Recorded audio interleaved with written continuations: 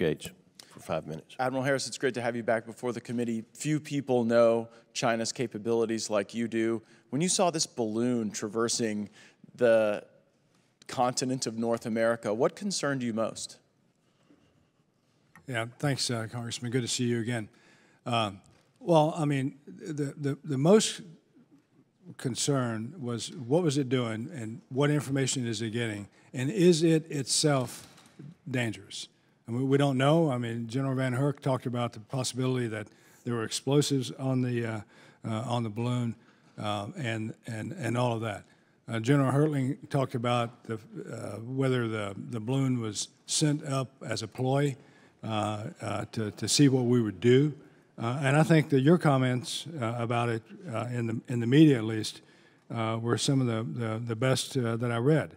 And that is, does it give would shooting it down give China a sort of pretext for them to do the same thing? We just don't know at the time that it happened.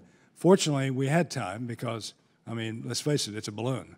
So we had time to, to think about it, to consider it, to weigh it, and I think most importantly, perhaps not most importantly, but certainly importantly, it gave China a chance to address the issue diplomatically, which they failed to do, to, to no surprise.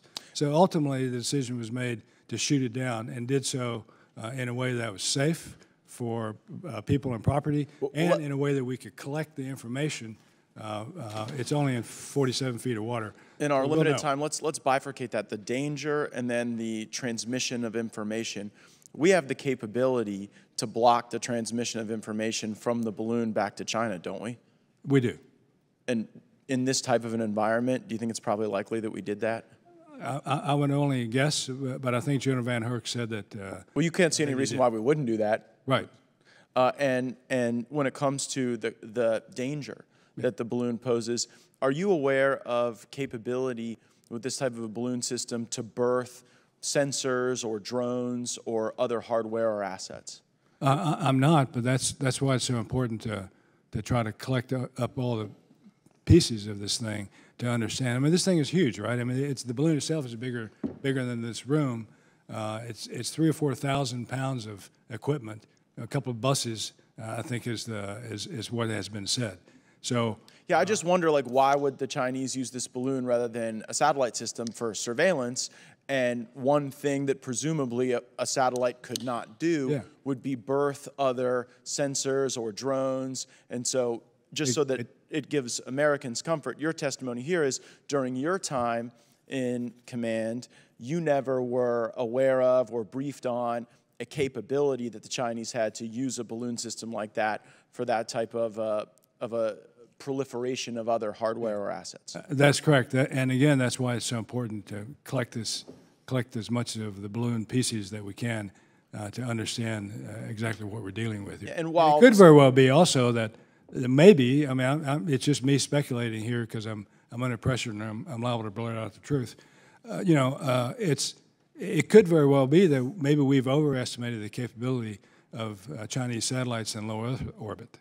Well, and, and you've shared with me that we have the capability to block any transmission of information from the balloon. And as while you weren't in the situation room while this decision was being made, as you join us today, you can't assess a circumstance in which we would have ever allowed information right. to be transmitted I, I would back. think. And it sort of begs the question, was this a big psyop? Yeah. Was, was this been. an effort by China to see how we would react to something like this that might not have had you know, the danger that we spoke of because you were not aware of that capability, and then also didn't have an intelligence uh, collection function. And so, you know, to um, to others, it may have been an effort to try to see how we would react, how we wouldn't react, and then to try to use that to yeah. inform their decision making. In my limited time I have left with the admiral, in the broadest sense, if I if we had hundred billion dollars to dedicate to the China scenario, in which domain would that be the smartest investment? Uh, it, it, would not be in counter balloon warfare. uh, I, I, think I would, it, I would agree. You know, and, and my, and would it be space? Would it be cyber? It electronic cyber. warfare? I think it would be cyber uh, and space. If, if and, and what dividends? If we made a $100 billion investment in cyber, what could the American people expect regarding the enhancement to their safety?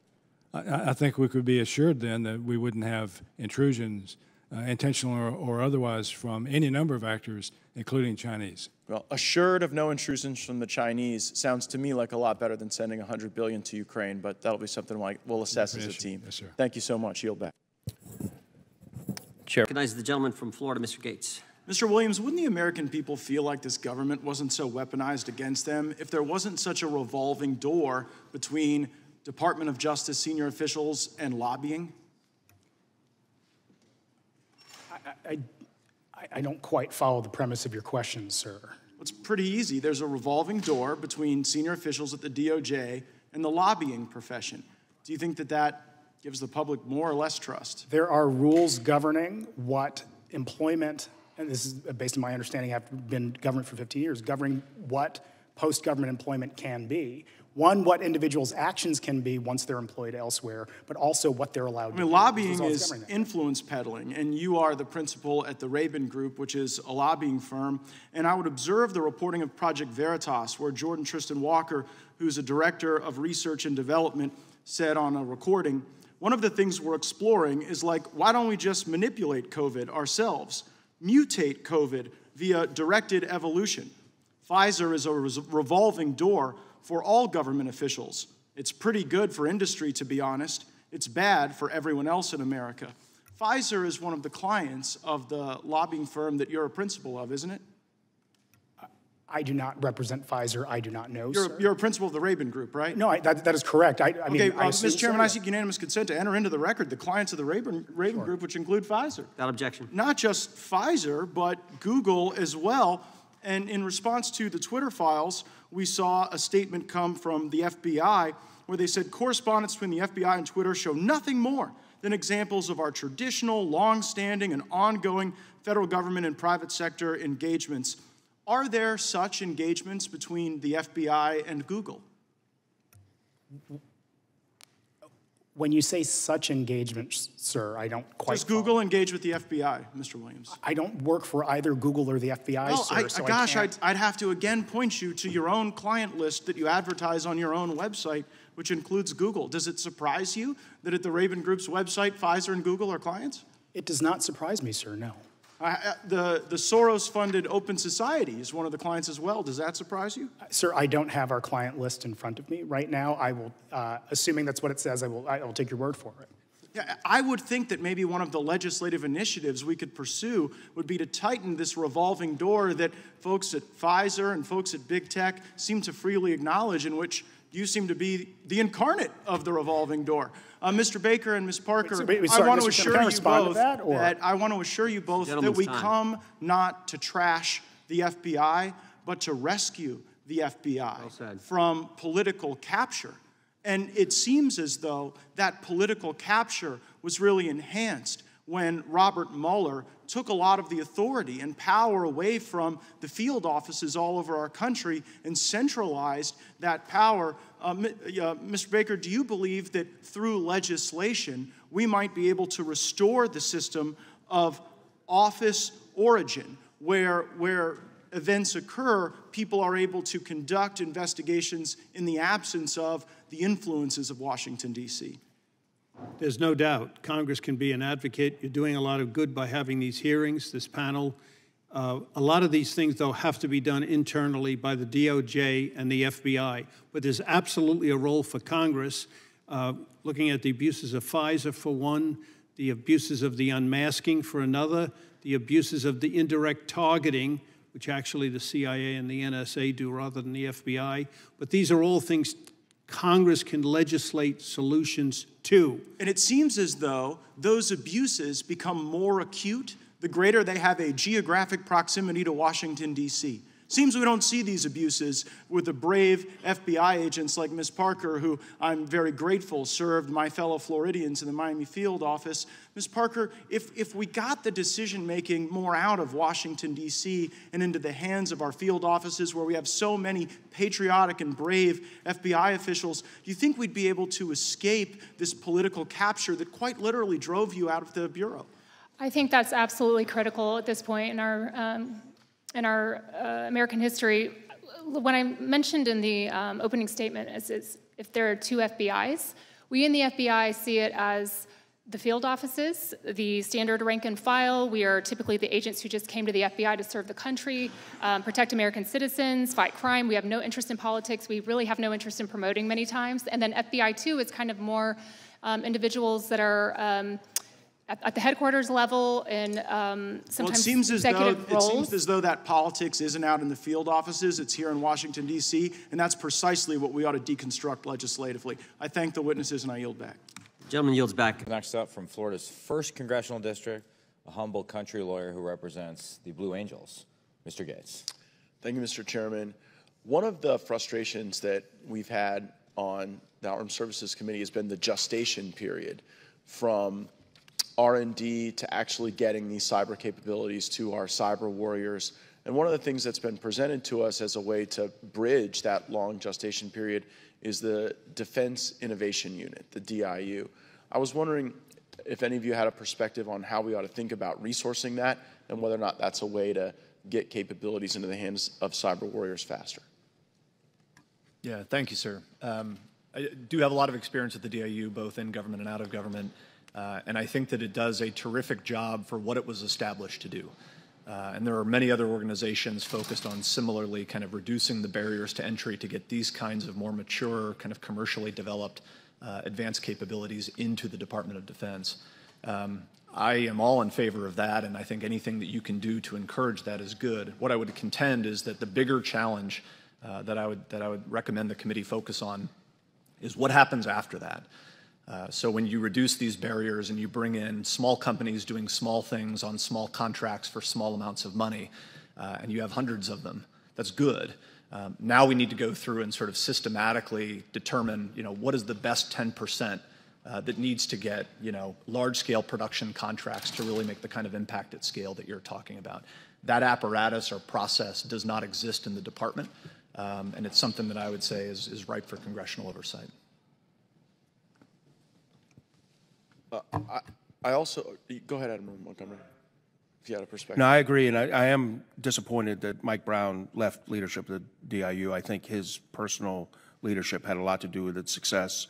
So we'll have to see what, what happens over time with that. Sometimes these small organizations can be very personality driven.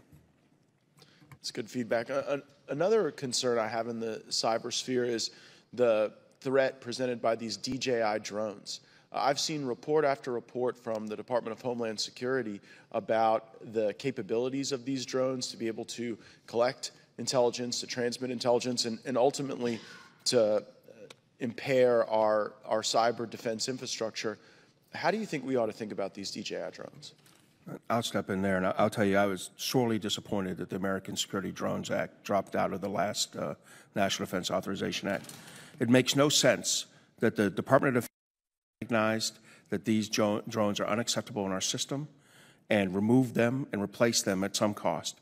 Yet other federal agencies, intelligence agencies and law enforcement agencies are not being compelled to follow suit. Uh, we know that these systems can communicate back uh, to uh, to their uh, to the servers of their host of their host company in China, and we know that those companies can be compelled by the Chinese intelligence agencies to provide information. If you'd asked me as the J3 at PACOM, what would be my dream scenario when I woke up in the morning? It would be that U.S. drones were flying up and down all Chinese critical infrastructure every night and sending photos and information back to my team so that I could easily target. Well, U.S. critical infrastructure companies are buying DJI and other Chinese drones at about 80% of market share, and they're flying up and down our pipelines, our electrical power grids, our water systems, and they have the opportunity to transmit that information, and the Chinese have the, the intelligence has the opportunity to request it. And oftentimes, are these DJI drones not provided to our local and state law enforcement agencies at incredibly low cost? They, they are, and um, and both Florida, as I'm sure you've experienced, in Texas, we've seen that, and uh, and in Norfolk and San Diego. And I can't imagine what a Chinese drone would detect flying uh, flying in uh, the San Diego and Norfolk areas, um, you know, on a daily basis, while doing legitimate law enforcement work, but also grabbing a good picture of everyone who's at, at every pier. Yeah, it it uh, it is deeply frustrating to think that our own law enforcement agencies are you know, almost uh, being utilized, essentially being utilized by the Chinese Communist Party to engage in this activity. So, Mr. Chairman, I know you've got a, a lot of hats you wear on this subcommittee and also working to chair the Select Committee on China. And I would suggest that the National Defense Authorization Act would be a wonderful place to nestle some drone doctrine for uh, defense against this uh, Chinese capability. Appreciate the testimony. And I'm still waiting to see who in Washington is defending these drones. I don't know why that legislation dropped out of the NDAA. Uh, maybe they'll, they'll perk up at some time. Well, they actually used, they had a pretty robust lobbying effort that used law enforcement officials, if memory serves, to go into members' office and Well, say, now we know better. need, yeah. I thank the gentleman. Uh, Now yield to the gentleman from Florida, my friend, Mr. Gaetz. Mr. Chairman, I observe that the people of Yuma are good folks, and they deserve a lot better from the federal government than they have been getting. And whether or not they'll get it depends heavily on the House of Representatives, and particularly this group, and whether or not we will fight for them. We don't have a single Democrat that we could even convince to come to this briefing to get evidence from these experts. You think we're going to get President Joe Biden and Chuck Schumer to pass legislation without a fight, without demanding that it go in must-pass bills, and we have to use every bit of leverage, or this is a deeply unserious exercise. Now, Dr. Trenschel, about one in four of the migrants who use birthing services at your hospital need neonatal intensive care unit services, NICU, right? That is true, And, yes. and that rate, one in four, is way higher than with the non-migrant population, right? Very much higher, And you got about 20 beds at any given time. Correct. And they fill up sometimes, don't they? Yes, And they so do. when you have those beds that are full up because of the pressure of these migrant communities, where do you have to send the residents of Yuma when they have a baby that needs NICU? We would have to fly them to Phoenix or another venue. And that's 170 miles away. Yes, it is. There, there is, there is, there are few prayers that I have ever seen more sincere and deeper than the prayers of parents when their little babies are at the NICU. And for all the folks on the left who want to lecture to us about hu- how humane an open border is, there is nothing humane about putting a parent on a 170 mile journey when they need NICU services. Uh, Supervisor Lines, we hear Secretary Mayorkas come to us all the time on the Judiciary Committee and testify that the most important partnerships above all else for the Department of Homeland Security are the partnerships with local officials. We hear it time and again. And so here is my simple question for you. Has Secretary Mayorkas ever lied to you? Yes. And what was the substance of that lie? So the mayor and I had the opportunity to uh, visit with Secretary Mayorkas and the Yuma Sector Chief, as well as the, sec- the Chief of the entire Border Patrol at Sector Headquarters almost a year ago. And during that meeting, he committed to, after reviewing the border, both from the ground and the air, to specifically address, quote unquote, nine of the 11 Yuma gaps. And how many of those gaps have been addressed? To date so far, none. We see infrastructure on two, and yet uh, they will not deter anyone. Yeah. This is my fourth time here with you. I think Yes, if I sir. come any more often, I'm going to be eligible to vote in Yuma County. Thank you for co- thank you for coming back, but, Matt. But, but in, in these District two is circumstances, it seems as though it's not a great mystery where the pressure points are, where we have gaps in the wall, and where we have recalcitrant tribes. And so, in, in those circumstances, should we observe that this is um, a, a lack of capability or a lack of will to go and plug those holes? A lack of will. We've followed up multiple times, as well as uh, Yuma Sector uh, Border Patrol uh, staff and with undersecretaries, and we were told time and time again that they were issuing contracts, that we would have it no later than June of last year, then no later than September, then no later than November. Every time it kept getting pushed out. While So would a reasonable person observe that this is on purpose? Uh, my wife says I'm not a very patient person, but I was patient every time that they that I called, um, and they continued to push this process out.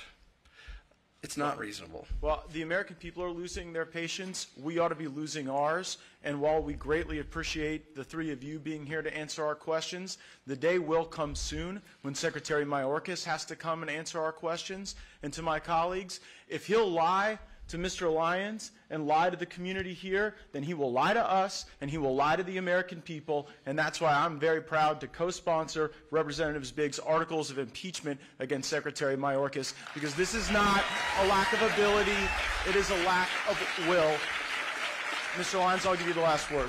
Mr. Gaetz, thank you very much. And uh, to what Mr. McClintock, McClintock was saying, uh, as far as the cartel violence, over the last 14 months, uh, the sheriff and I have been made aware of over 200 assassinations in San Luis Rio, Colorado, where the cartels are targeting law enforcement. This last weekend, we had another officer shot, and then retribution the following night. So when you talk about that violence, it's here at our border. They are in control, and we want to take our control, our border control back. And we need a, an administration that has the will to secure our borders, and that's what we're asking you to do.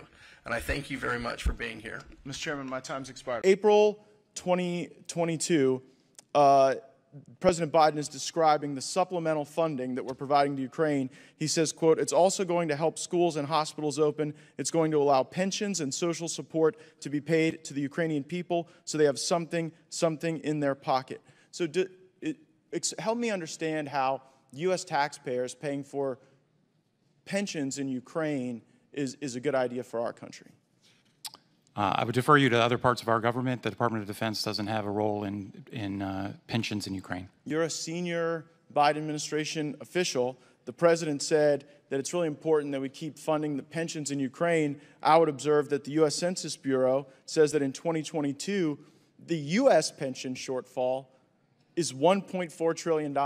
So while we have a corrupt Ukrainian government while we have our watchdog here who can't say that we followed the law on in use monitoring, we have the President of the United States saying we need to fund pensions in Ukraine. Meanwhile, the pensions of our fellow Americans are in greater jeopardy. Mr. Here, our recess lasted a little bit longer than we anticipated due to votes. Um, I now yield five minutes to the gentleman from Florida, Mr. Gaetz. Dr. Singer, in your testimony, you talked about the market demand for fentanyl, for drugs generally, but specifically for fentanyl. Uh, and I, I guess I wanted to assess the utility of that analysis in the context of a drug that is often spliced into other things that people are using. Um, ma'am, did, did, your son seek out fentanyl? Was he part of the market demand for fentanyl? Absolutely not. He bought a pill on Snapchat, a blue Perk 30, and it, it had fentanyl in it. And, and Mr. Maltz, in, in, your extensive experience at DEA, you know, do you find that fentanyl is being laced into uh, what people believe to be Percocet? 100%, yes. And, and Xanax as well? Yes, sir. And marijuana? Uh, there are cases of marijuana. We don't know the extent of that, but there have been fatalities reported with fentanyl in marijuana, yes. M- MDMA?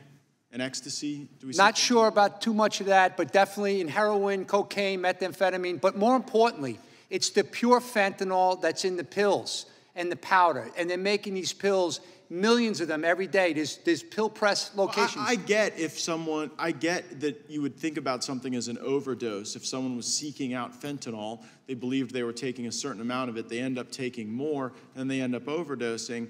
But if someone thinks that they're using a different substance, that doesn't strike me as an overdose. That strikes me as a poisoning. It, it, it, yeah, Dr. Singer, I'd, I'd, love your, your thoughts on it because yeah. probably on the Republican side, I am the easiest to concur that the war on drugs is one that has been won by drugs. Yeah, well, uh, Congressman Gaetz, uh, you, maybe you misunderstood me.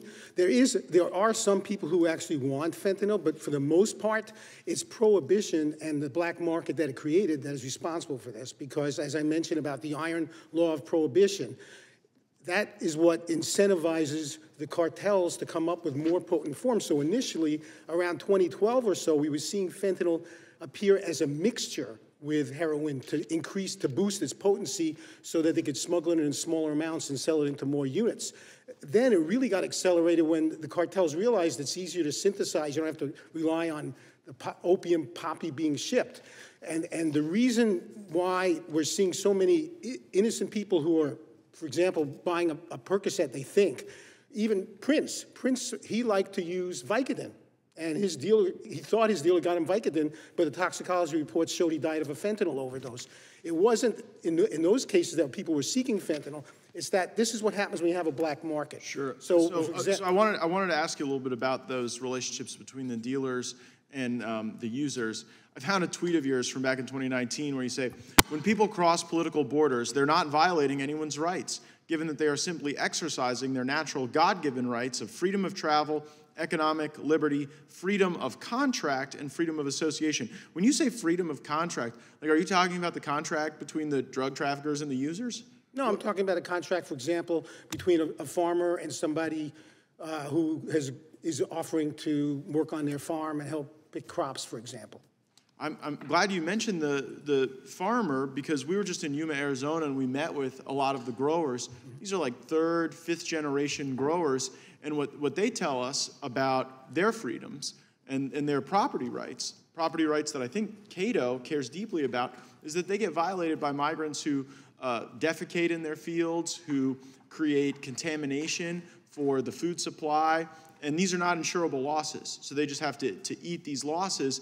And like, does, do, does the violation of the property rights of the farmers you mentioned, Of course. concern you? That would be trespassing on private property. So Right, but don't you think that the open borders policies that you've advocated for uh, increase the frequency of that violation of people's property rights? um, people have no right to come on someone else's property without their permission.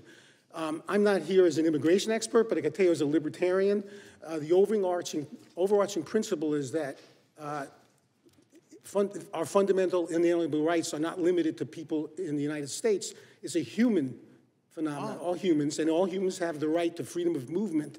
But not across somebody else's property, right? I beg your pardon? Not across somebody's private property. Not private think- property, Do you think that everybody in the world has freedom of movement across our border? Unfortunately, no. But you would like that to be the Well, I think borders are for governments and uh, not for people. I don't know, Dr. Borders Silver. I, is define see, I would observe that governments have to govern the conduct of people, and that the role of our government is to secure our border, and that if it's open, it's the property rights you're concerned about and the life and health of our fellow Americans that continues to degrade. But I, I appreciate the colloquy and appreciate all the witnesses being here. I yield back. Thank you, gentlemen. Chair, and I recognize the gentleman from Florida, Mr. Gaetz, for five minutes. Mr. Storch, you're our watchdog. Ukraine has a corruption problem, right? Uh, you- There's a long history of issues with corruption in Ukraine. I don't. Infrastructure minister arrested for stealing $400,000. Deputy head of Zelensky's office can't explain where the sports cars came from, so he had to resign. Uh, Deputy defense minister resigned over contracting corruption, but the defense ministry put out a statement that his resignation was a worthy deed. And the wife of a former Ukrainian politician was found with $22 million in cash crossing the border into Hungary last year. Seems as though a lot of the zeal for enforcement of the anti-corruption efforts seems to align with the Republican control of the House of Representatives in our country. Maybe that's a coincidence. But let's get to this, this end-use monitoring you testified to. The Arms Control Act of 1996 requires end-use monitoring for certain defense art- articles that are sold or leased, right? Correct. And there's no feature of anything we've passed that exempts what we've given to Ukraine from those requirements in the Arms Control Act, right?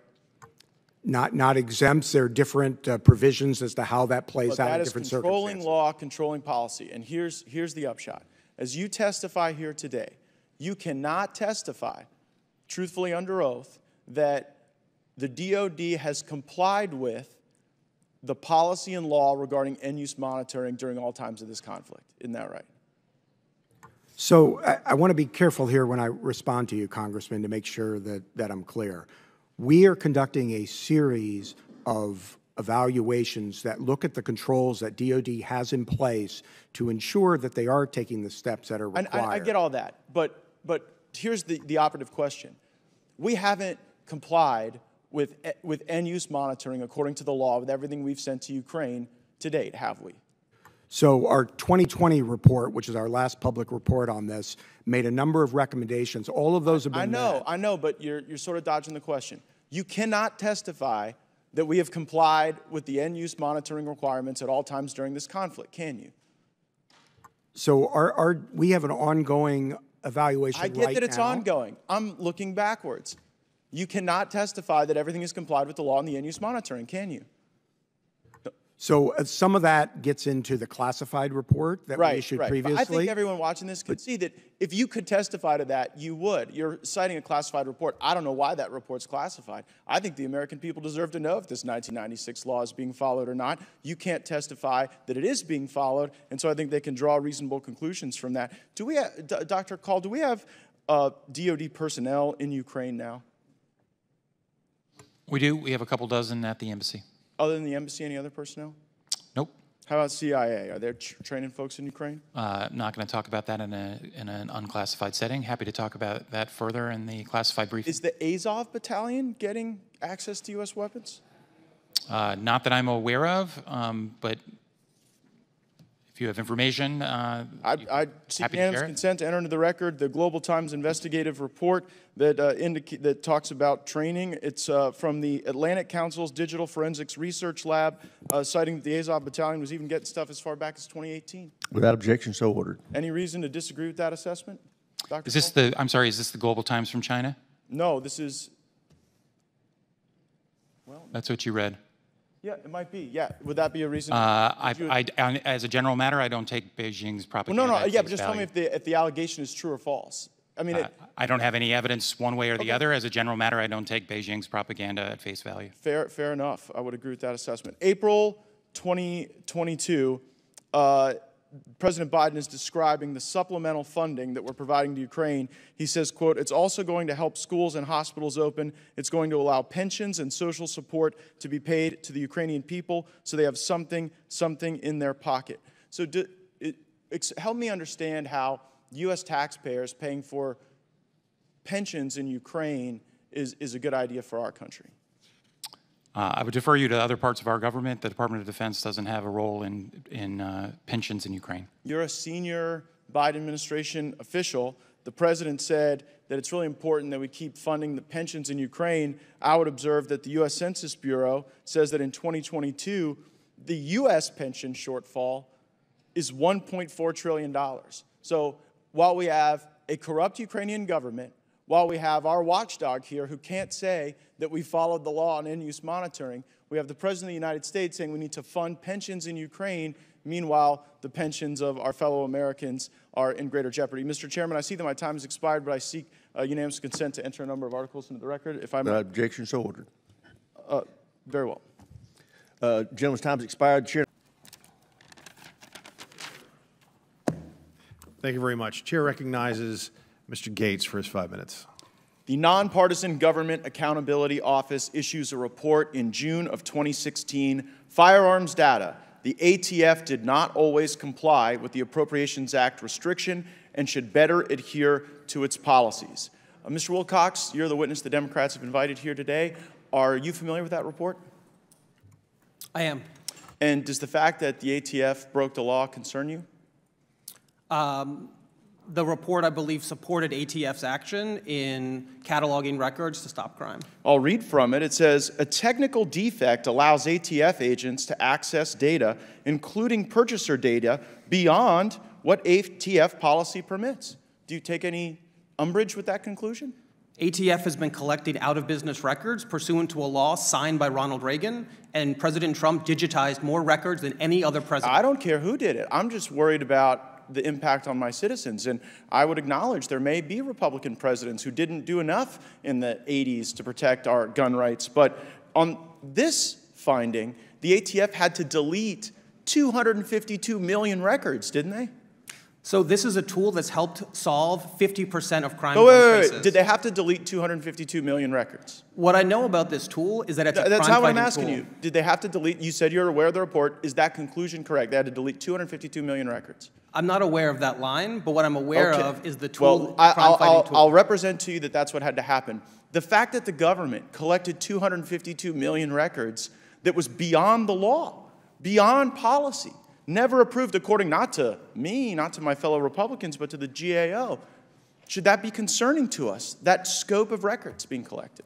ATF's collection of out-of-business records was fully compliant with the law. That's The not issue- what the GAO said, so you disagree with the GAO report. Well, there's two points they made. One is the collection of out-of-business paper records that, that FFLs keep. The second piece was the collection of electronic records that FFLs keep.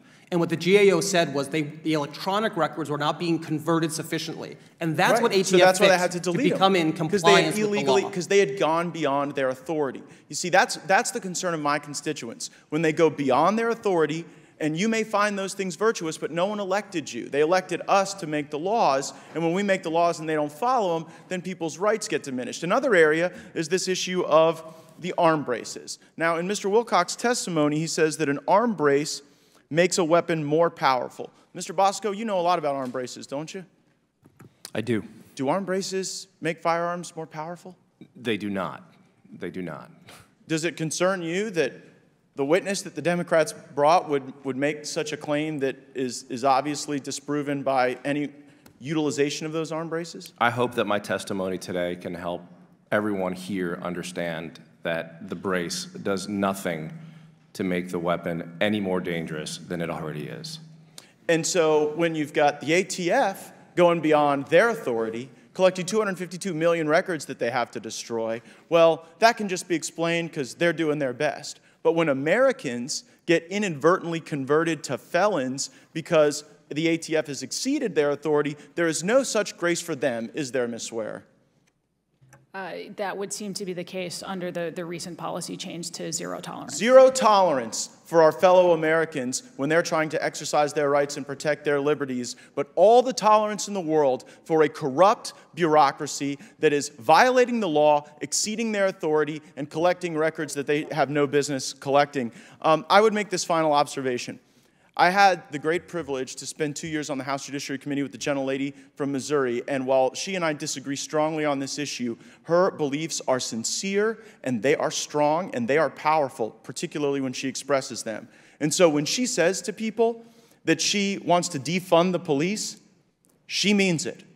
And when she says in this committee meeting that gun violence is a public health emergency, well, she means that too. And our fellow Americans know the impact of folks up here in Washington declaring everything and anything a public health emergency. It means you're more likely to be locked in your homes, deprived of your freedoms, less healthy, less safe, less secure, and less able to live a truly American life. So know this when the left talks about this as a public health emergency, get ready to see those enhanced authorities abused by the ATF. And, Mr. Chairman, it is my sincere hope that that in the very near future, we will have those very folks from the ATF here. And I intend to be utilizing the new rules that we have in the House of Representatives to offer amendments to the Appropriations Act to zero out their salaries for breaking the law and abusing the liberties of our fellow Americans. I would like to go back to the tweets of the racist person that works for you. What does caudacity mean? I have no idea, Congressman. You took six months to investigate one tweet. You didn't even figure out what the words meant? I didn't investigate the thing. She's a DOD. Well, uh, you said in a- the Fox News a- article that you were going to take 30 days and investigate and it took you six months. In, in a six month investigation, you guys didn't learn what caudacity meant? I think you know. I think every person that's going to watch this exchange knows you know. It's, it's, she's trying to lash audaciousness with someone being Caucasian, isn't she? I have no idea, Congressman. Wow, what an investigation. When she Well, says PD I did sessions, not. I will says- say I did not do the investigation. She is a, a GS employee that's employed by DODEA. Well- DODEA conducted the investigation. Gosh, Uh, the Pentagon told Fox News Digital that Gil Cisneros would provide a final decision in 30 days. So they gave so someone at the Pentagon is throwing your name out there as being responsible for this, and now it looks foolish that you're suggesting you don't know what that means. Well, I would say that- hold on, that PD quote did not come from let's me, go to let's go to this, Mr. came from. Cisneros. What's a PD session? Um, my guess would be personal development. Personal development. You don't think it's professional development? Another that too. open matter for the investigation that it didn't resolve. So you don't know what caudacity means. She's obviously talking about professional development there. And like when she says, I had to stop, the, or let's go to the next claim the caudacity to say that black people can be racist too. Mr. Cisneros, can black people be racist too? I've already stated, Congressman, that I didn't agree with her statements. Uh, But I'm asking Department about that Defense provision. Can black people be statement. racist? This, this question isn't about me or my personal beliefs, but again, I, You're I the don't, leading I- official over DEI. I don't a agree. racist person who works for you puts out these tweets, and you won't say whether you agree or disagree. I told the you I statement. Chairman, I I just want don't to agree remind with their members to tweets. observe standards of decorum. This is okay? decorum. It's my time. Can black people be racist? I do, I do not agree with that tweet. Do you agree with that statement? I'm asking you a statement. Can black people be racist? I'm not going to answer that, Congressman. Why not? Because it's, it's, you're asking me a personal opinion, and that's not what this Well, is about. actually, I'm asking you in your capacity as a senior DOD official in the Biden administration who is where we see recruiting falling off the table, whether or not the embrace of racist tweets, whether shuffling these people around rather than firing them, and whether this little exchange here is helping or hurting recruiting. Let's go ahead and put up the recruiting. I, I will tell you, we do not support racist tweets. We do not support racism. well, did you fire this lady? Again, You as I- hired her. As I stated, I did not hire her. As she was, DOD hired her. as, as it was stated earlier, she's a DODEA employee. She's a GS employee. The inquiry that was done said these these tweets were done on a personal matter. Oh, a personal matter. it How was- do you know it's it a personal matter if you don't know that the PD could stand for within- professional development? and Mr. was within- Cisneros, this is a professional development session where she attacked white colleagues and took the position that black people can't be racist. Now, you can't answer basic questions about it, and here's what I would propose to you. This is what we're looking at in recruiting right now. It's fallen off the table. And when you have employees that you don't fire who do racist things and say racist things, then you really hurt the ability to recruit people who want to be part of, a, uh, of an inclusive and diverse force. I would say the data that we have is not, the recruiting is not falling off because of that. But again, the Department of Defense, DODEA, does not agree with the tweets that she made. It was at 3 o'clock during the workday. You didn't fire her. If someone puts out racist things, do you fire them or do you just move them around? That was not an official, that was not an official, that's her own personal See, Twitter here's, account. here's the problem with the double standard, Mr. Cisneros. When Caucasian members of the military post about the Second Amendment or supporting building the wall, you all seem to be on a white supremacy snipe hunt. You seem to take people's personal views and weaponize them against them. And I've had people in my district who serve that wonder whether or not some joke that they forwarded or meme that they liked is going to result in the ruining of their careers. But you have no such interest when it's a person like this. You delayed the investigation. Your own name was what on what DOD put out as conducted the investigation. You delayed it. This lady makes like $160,000 a year. Do you really think today the taxpayer should be paying this lady that amount of money?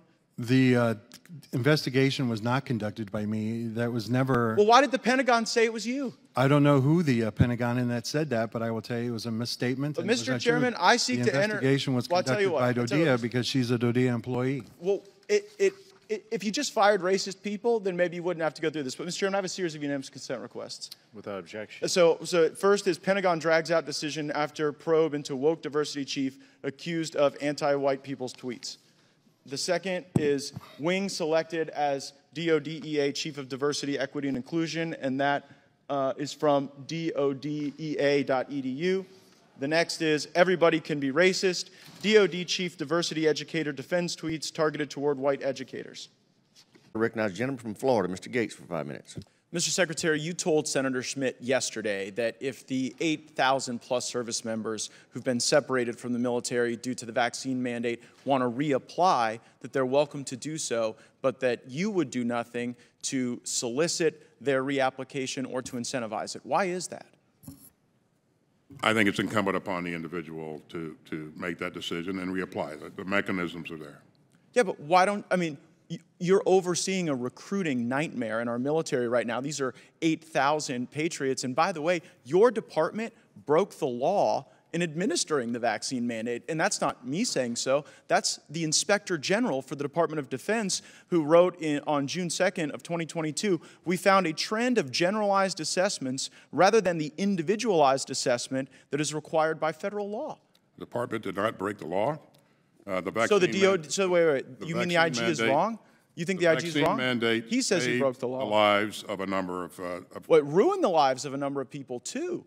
And it ruined the lives of people who love our country and want to reenlist. Let me ask you this question. If we direct you by force of law to re-engage and incentivize the reenlistment of these folks with full back pay and rank, do you have the capability to follow that instruction? You put uh, provisions in the law to enable those, uh, those people to, to, uh, those former service members to reapply in accordance with the service man, service. uh, Good. Well, we will do that just like we had to put the repeal of the vax mandate in the law. And I get the sense that the only reason you're not reaching out to these folks is pride. Because otherwise, they would be totally able to serve. And it seems that your personal pride is getting in the way. So, going from the deeply serious things that we're not doing, re engaging these 8,000 folks, to the deeply unserious things that we are doing, go ahead and put up the first slide. I, guess my question is how much taxpayer money should go to fund drag queen story hours on military bases? You know, drag, drag queen story hours is not something that uh, the department funds. Wait a second. Uh, That's actually not what the record seems to suggest. You were going to fund one at Ramstein Air Force Base. That one got canceled, but that's DOD insignia. That's a drag queen story hour for children. Then also at uh, Malmstrom Air Force Base outside of Great Falls, Montana, you had a, a drag queen story hour for kids. At the Joint Base Langley Eustis, you put on a drag Queen Story Hour on a Saturday for the first ever kid friendly diversity, equity, inclusion summer festival. And at Nellis Air Force Base, you had the Drag You Nellis on June 17th. Who funded these things, Mr. Secretary? Listen, uh, drag shows and, uh, are not something that the Department of Defense uh, supports or funds. But wait, why, why are they happening on military bases? I just, I just showed you the evidence. Why are they happening? I will say again, this is not something that we support or fund. What, you, so you think hosting a drag queen story hour on a military base isn't supporting the drag queen story hour? I stand by what I just said. But, but uh, you may stand by it, but it's belied by the evidence over and over again. I mean, are, you- are, are, are you aware of the uh, piece? Uh, Biden's military, Air Force Base in Montana holds drag show, drag queen story hour for kids in the Western Journal. Are you aware of that?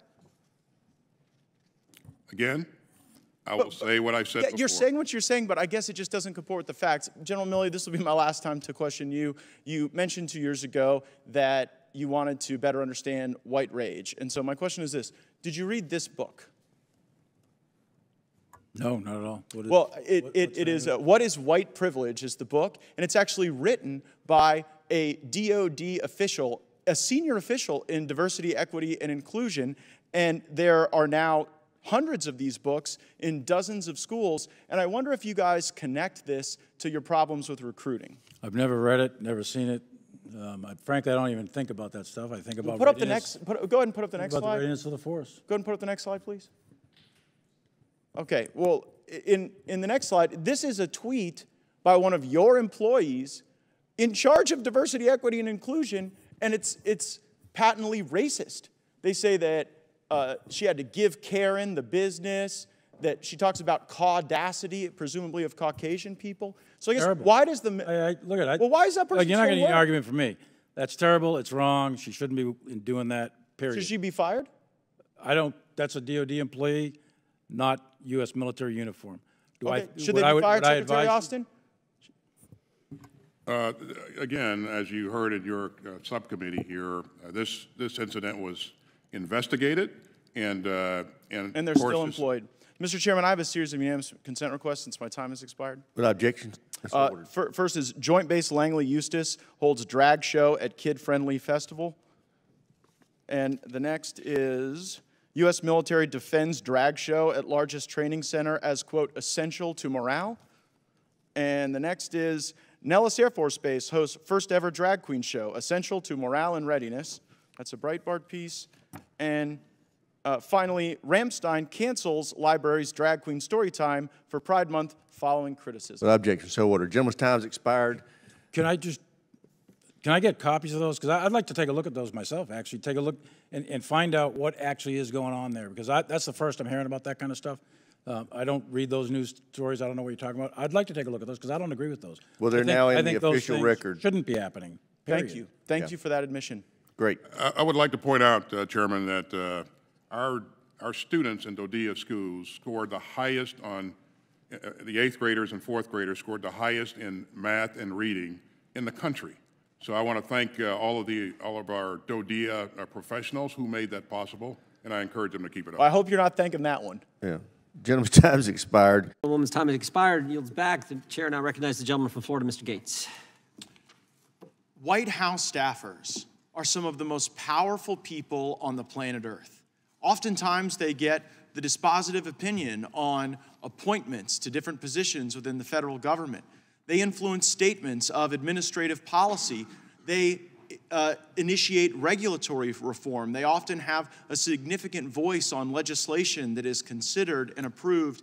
And so, Mr. Sauer, I want to understand how many of these intensely powerful people who work in the Biden White House were involved in this effort that you've been investigating regarding the desire to shape discussions on social media? At least 20 and very likely more. And was there a ringleader of this group, someone who had pervasive and uh, repeated efforts to try to coerce social media companies to shape the truth according to the Biden White House? Deputy Assistant to the President Rob Flaherty and also Andy Slavitt. Who is Rob Flaherty? He is the, uh, I believe, the digital coordinator for the White House. His, his level is Deputy Assistant to the President. And what behaviors of Mr. Flaherty did you observe that you found troubling? We've seen many, many pages of emails between Mr. Flaherty and social media platforms where he relentlessly badgers them to increase the censorship of ordinary Americans' free speech on social media, and he gets results. You see the platforms agreeing to censor things that are truthful, that do not violate their policies at the behest and at the pressure of the White House. Can you give an example of that? One great example of this is the Tucker Carlson video that was going viral in April of 2021, where Mr. Flaherty and other White House officials were emailing Facebook privately demanding that it be censored. Facebook responded, This does not violate our policies. It has not been fact checked, but nevertheless, we are substantially deboosting it and limiting its distribution on our platforms, even though we haven't identified anything false in it. And even though it does not, uh, they had a positive determination that it does not violate their policies. And did you assess that Facebook took that action as a direct consequence of the badgering coming from Mr. Flaherty in the Biden White House? That is a compelling inference from the email traffic back and forth that we obtained in discovery. And, and did Mr. Flaherty ever request any reports from social media companies on specific censorship issues? Very frequently. In fact, he was demanding that again and again. His, his steady drumbeat was what he called borderline content, that the email traffic makes clear. Borderline is what they call often true content, things like personal anecdotes, uh, uh, opposition to vaccination expressed in terms of political opposition, things of that nature. That is what he wanted to target, and he was frequently asking for reports back. They were sending in biweekly CrowdTangle reports to the White House. They did that through the close of our discovery period uh, last August in 2022. So uh, uh, uh, there was there was a, an overwhelming effort to get them to to check their homework, if you will, to get them to report back on how much censorship are you doing and and is it going to meet our standards as the White House? An overwhelming effort badgering social media companies, demanding reports from those social uh, media companies directly to someone in the White House. And as my colleagues on, on the other side of the aisle remind us, not all speech is protected. Some speech is illegal. Did you see Mr. Flaherty constrain his concern to unlawful speech, or did you often see this badgering and this demand for reports from entirely lawful speech? Virtually everything. I can't remember a single instance of them going after unlawful speech. Almost all of it was after lawful speech? Virtually everything that I can recall here was lawful First Amendment protected speech that was being targeted. Uh, we heard from the witness that the Democrats brought today that these were but suggestions that of course the government should be able to make suggestions to social media companies. What would be your response to that testimony? The characterization of them as suggestions is contradicted by overwhelming evidence. Calling Flaherty, for example, Mr. Flaherty's communication suggestions is akin to saying that the earth is flat or the moon is made of green cheese. Well, And of course, if someone shared those viewpoints, that would be lawful speech, wouldn't it? You'd be allowed to say that on social media, and based on the Not US if Mr. Flaherty were in charge. That's that is the difference. And in fact, what happened was you had a de facto suppression of many, many views, including truthful views, political organization, at the behest of White House officials and other federal officials. And- And I would suggest, Mr. Chairman, that when you have these intensely powerful people with the ability to control so many things, even a suggestion is coercive and problematic and worthy of the committee's review. I yield back. Thank the gentleman for his uh, five minutes. The gentleman yields back. The gentlelady from California, Ms. Sanchez, is recognized. Mr. Chairman, I'm going to begin by seeking unanimous consent to enter into the record a press release from last year from the Department of Defense entitled Department of Defense announces recruiting and retention numbers for fiscal year 2022 through March of 2022, and it reads Overall, it is clear the broader recruiting market continues to deteriorate, and recruiting shortfalls can no longer be solely attributed to COVID 19. Without objection. So we just heard from Secretary Austin moments ago that COVID was the driving headwind. That was the headwind was the term he used in these recruiting challenges that trouble us all. But the department is saying that it's not COVID. So I guess I'm just trying to figure out what do you guys think is the driving factor of the recruiting collapse that we are currently overseeing? Any any of you who are particularly interested? Representative Gaetz, that's a great question, and what we are seeing is that it's not just one factor. It is a variety of factors when we look at obesity, physical fitness, misconduct, behavioral health challenges, a knowledge gap of what we saw from our data was that uh, individuals that we surveyed identified that they would be potentially putting their life on hold if they serve. So not attributable to one single factor, but a multitude. I, I agree with that. We've got a younger generation that's too dumb, fat, slow, addicted, and on video games to be eligible to serve in the military. And it's really troubling to hear that the response is to thin the soup rather than to do what we can earlier on, maybe through our education system or our nutrition programs, whole of government to try to get a greater share of our folks capable. Do you, does anyone here attribute any of the recruiting challenges we face to the new DEI push? Any of you, raise your hand if you do. None of you. Well, I, I would suggest that that is misguided. I have heard directly from people that this uh, this embrace of DEI and white fragility and white rage harms our recruiting effort in the area of the country where we do our best recruiting in the American South. Uh, I have qu- additional questions for you, General Miller. How many Republicans running for Congress had their personnel records unlawfully compromised by the United States Air Force? Uh, Thank you for that question. So we did have a PII breach, um, 11 individuals overall. Uh, Their data was um, released. um, Well, you say breach. When I hear breach, what I hear is that like someone hacked or broke in or got the information. You gave this information. Yes, we did. No, the. Air so it wasn't a breach. It was an illegal release. It was a, yes, it was. Right. You're right. We take full responsibility for that.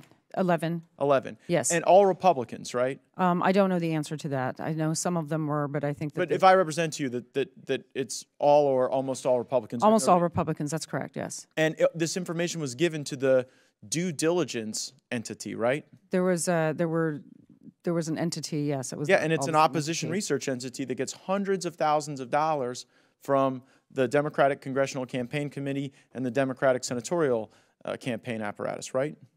Um, I don't know that much about due diligence, but there's, I know that we um, released the information Why? inappropriately. Why did you do that? Um, it was a, you know, it was an error. We did an investigation as soon as we found out. We notified all of the members um, in which their data was um, released. Uh, we have put in place uh, multiple layers of uh, checks and balances. We did a retraining. Who's been fired for doing this? Um, we have taken the appropriate action. Okay, who's been fired? We've, we've taken the appropriate I- action. it's a fascinating answer, just not to my question. Who's been fired? I, I can't answer that. has a single person been fired? I do not know the answer to that. Shouldn't you, though? I mean, here we are having recruiting challenges. You guys are releasing personnel information of predominantly Republicans to a Democrat opposition research firm. You run personnel for the United States Air Force, and you can't tell me whether anyone has been fired for this unauthorized release? Congressman, I can tell you that we have taken the appropriate action Well, but, but, but you deem it appropriate. But what if we don't? Because we have civilian control of the military. and we may have to change our laws to hold people accountable. And pardon me for not trusting your vague reference to the layers that you've put on. But, Mr. Chairman, I, I request that this committee get specific answers for what the accountability regime was for this unlawful action by the United States Air Force, and that we not take as an article of faith the representation that they think they've taken the appropriate action. They've taken the illegal, inappropriate action to compromise these records, and I think we should hold them accountable for it. Um, on that note, General Miller, for, for the record, can you submit to the committee what those appropriate Yes, actions were? we certainly may. Okay, I yield five minutes to Representative Houlahan. Thank you uh, very much for your testimony today. I am going to try it. an. ex- Chair now recognize the gentleman from Florida, Mr. Gaetz, for five minutes. General Langley, I have constituents that have been scattered across Africa on train and equip missions. So, just ballpark in the last decade, how many Africans has the United States military trained and equipped? Congressman, I don't have that uh, figure. I can get that figure for you. Ballpark, just, you know, how many? Uh, Congressman, I- would be a wild, it would be a wild guess right now. Seems like something we should know, right? Over the years, um, we have trained a substantial number, especially in uh, the Gulf of Guinea uh, states, um, uh, but and Like more than um, 10,000? It is more than 10,000. More than 50,000? I'd say we're, we're reaching around 50 50,000 Okay. at least. And, and, and what percentage of the people we've trained end up participating in insurrections or coups against their own government? Very small number, Congressman. Very small number. So, what percentage do you think? I'd say probably le- less than one percent. But it does the, happen, I, the IMET program is in, in force, and uh, uh, and we've uh, pushed a number, uh, a significant number through our schools uh, across the. Yeah, and, and what data sets do you track to arrive at the conclusion that less than 1% of the roughly 50,000 that we've trained have participated in coups? Um, Because it'd be like about 500, about 1% of 50,000. uh, Congressman, you may have that information. I, I don't at this time, but I know. Well, I know there are some, right? Like in, go ahead and throw up that image. This is uh, Colonel Mamady Doumbouya, and this is a photo of, of him. Did we train and equip him? In Guinea? Uh, by name, I, I cannot identify that. Well, well, that guy in the middle with the big red hat, Colonel Mamady Doumbouya, that, that's him with a bunch of U.S. service members outside of our embassy. And just months after this photo was taken in 2021, he led a coup in Guinea and, and threw out the, the leader. Does that concern you? Congressman, core values is what we start off with in IMA pr- programs. Do we, share stick core values with Colonel Doumbouya? Core values. I will repeat that. Core values. I know, Respect for humanity. Do we, do we share those values with Colonel? Absolutely. In our in You our do? curriculum. He led a coup. We do. Okay, well, I, I, that's a very telling answer. In Burkina Faso, did we share core values with the uh, leader that we trained there who led a coup? It's in our curriculum. We Leading stress core are in our values. curriculum? We request civilian-led governance. Wait, wait, Uh, wait, so wait, hold on, hold on, hold on. Is leading coups in our curriculum? Absolutely not. So my question is- civilian-led. My question is, do we share core values with the coup leader in Burkina Faso who we trained? holistically, we teach whole uh, uh, you know, core values uh, with a respect for civilian governance, apolitical, and that's what sticks across a high, very high percentage in the 90, 90 over but not 99 everybody, percentile. right? But not everybody. And and when it, I wonder how many people it takes to to plan a coup. I mean, initially you didn't know how many we trained and equipped. Then you said it was one percent. You had no base, basis for that one percent number because there's no data set you track. Mr. Chairman, I seek to, uh, unanimous consent to enter into the record. Another U.S. trained stol- soldier stages a coup in West Africa by the Intercept. Without objection, so ordered. And I, I further seek unanimous consent to enter into the record. U.S. forces trained the Guinean colonel behind the recent coup in West African country, and this is regard to Guinea. Without objection, so ordered. So I guess the, the question is why should U.S. taxpayers be paying to train people who then lead coups in Africa?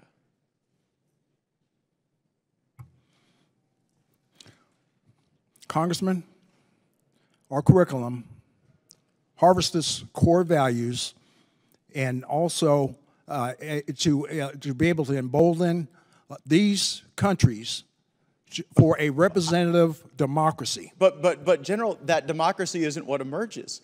The problem is, I, I know you, you may have great confidence in what you're teaching, but when two governments have been overthrown, I guess eh, how many governments have to be overthrown by people we train before you sort of get the message that our core values might not be sticking with everyone? Is it five countries? Ten? We'll, we'll continue with our persistence in assuring But do you think it's that they harbor they, that they harbor democratic norms, and democratic values. Just a moment ago, you said, you said we shared core values with Colonel Doumbouya. You said, you said that just moments ago in response to my question, and his core value seems to be leading a coup. So I, I don't think it's stuck. I think we should at least know how many countries we train the coup plotters in. Uh, how many is too many? Because clearly two is not too many, and I think we could use our resources far more effectively than doing this. Gentleman's time's expired. Chair, and I recognize the gentleman from New York, Mr. Ryan, for five minutes. Thank you, Mr. Chair. Uh, thank you all for being here. Uh, in particular, I just want to thank. Gentleman yields back. Gentleman from Florida is recognized. How many guns has the ATF lost? Um, I- I'm not sure I understand the question. Um, uh, Is it a difficult question to understand? uh, Well, I I- I don't know if you're referring to uh, any particular incident or time How many period. instances should we be looking at where you've lost guns? Um, So if, if what you're referring to is what happened at the National Destruction Branch, no guns were lost. They were stolen by an individual who's now in prison, Right. uh, who was right, not an but- ATF employee. But there were recommendations made on what you should do so that you don't become the victim of the theft. And the Inspector General saying you're not following them. I'm quoting directly from the Inspector General's report. Thousands of firearms, firearms parts, and ammunition had been stolen from the ATF. So you gave testimony that the brave ATF agents are the ones showing up at two in the morning after a burglary, but it seems as though in this case, you were the one burglarized. Why have you not followed the recommendations of the, of the Office of Inspector General so that you aren't the mark? Um, Again, uh, it is, it, I, I want to say that it is brave women of, of a, men and women of ATF who do do this. That's not uh, a Well, I know what they're that's doing. I know what they're doing. every they're day. getting robbed on one hand, so you can't keep a hold of the guns you're supposed to have. But then you do keep a hold of a bunch of stuff you're not supposed to have a hold of. the GAO report, firearms data, ATF did not always comply with the Appropriations Act restriction and should better adhere to its policies. As a result of breaking the law, didn't you guys have to go and delete like a quarter of a million records that you illegally kept? Uh, Again, uh, with respect to both the Inspector General reports that you're talking Nope, about. one's Inspector we- General, one's GAO. Well, the GA, the, the, the, the, the Inspector General report, uh, ATF, that happened uh, several years ago, more than that. 2022 And ATF, and ATF has, the the report came out, but the theft, and Yeah. ATF has implemented uh, numerous different safety measures with respect to the National uh, Destructive Branch. Well, I mean, he- I'm, I'm reading to you from the report from last year, Mr. Director. We found that the NDB staff does not currently, currently in 2022, adhere to established operating procedures in place to mitigate risk of firearms being lost and stolen. So I guess I, th- that shows an ATF that is not functioning correctly and is not responding to the problems you create. You keep records you're not supposed to. It was a quarter million of them you had to delete, right? Um, I, I don't believe that that is. um, Was it over 200,000 that you had to Uh, delete? s- So what, what, what was happening was. I just want to know the number of records you had to delete that were not being lawfully, lawfully maintained. There were, there were records that were, had not actually been searched, but my understanding Hundreds of is were thousands of them. searchable. And so that's what you guys do. You keep what you shouldn't keep, you lose what you're not supposed to lose. But how do you treat regular Americans? I got this letter from someone in my district, uh, a firearms dealer. I have been a firearms dealer for 46 years. For 46 years, I've had a good relationship with law enforcement. Then came the ATF's zero tolerance policy. Two years ago, while in the process of selling a firearm to a customer, I completed their background check using Florida's FDLE firearm purchasing program. The background check was uneventful, and FDLE rendered an approval number. Some months later, during an ATF audit, I was told the background check was now a non approval. Even though FDLE made the error, it was on my paperwork, so ATF deemed it a willful error. After completing close to 50,000 background checks over 46 years, why would I willfully ignore this background check? The answer is simple I did not, but the ATF has revoked my license, ended my career, and my livelihood. So I guess the question is why should you be able to destroy the life of one of my constituents over a technicality where they weren't even at fault when you all lose thousands of guns and illegally keep hundreds of thousands of records?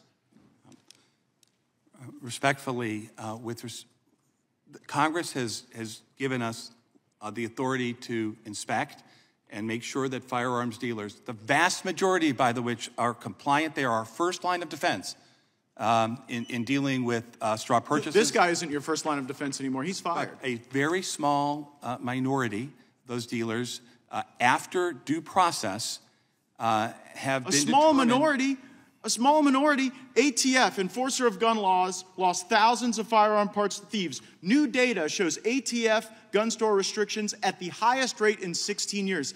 Mr. Director, the definition of hypocrisy is when you can't live up to your own standard. So you have imposed a zero tolerance policy that is resulting in the highest rate of revocations in 16 years, and you wouldn't be able to meet your own zero tolerance policy because you lose stuff you're supposed to keep and then you keep stuff that it's illegal to keep. And by the way, I am one of those MAGA Republicans that would defund your salary, your agency, and I don't. I, and I think all these good things that you say exist could happen with those folks at the local and state level. And this is a, is a terrible abuse of power. Um, so many New Yorkers will soon become Florida voters. This is an iconic city. It's actually our nation's most iconic city. And it's not because of the beautiful architecture, and it's not because of the geography. It is because the sense of hustle that is so inherent to the people who come to New York to achieve their dreams. And increasingly, that hustle is being replaced with fear. Uh, uh, Mr. Holt, Councilman Holden, you and I are from different parties. If we talked about a thousand things, we'd probably disagree about a vast majority of them. But here's my simple question for you Is fear a rising feature of life in New York, or is fear a declining feature of life in New York?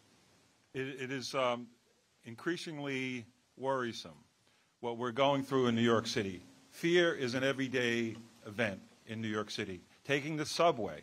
My wife is Asian American. She will not get on the New York City subway.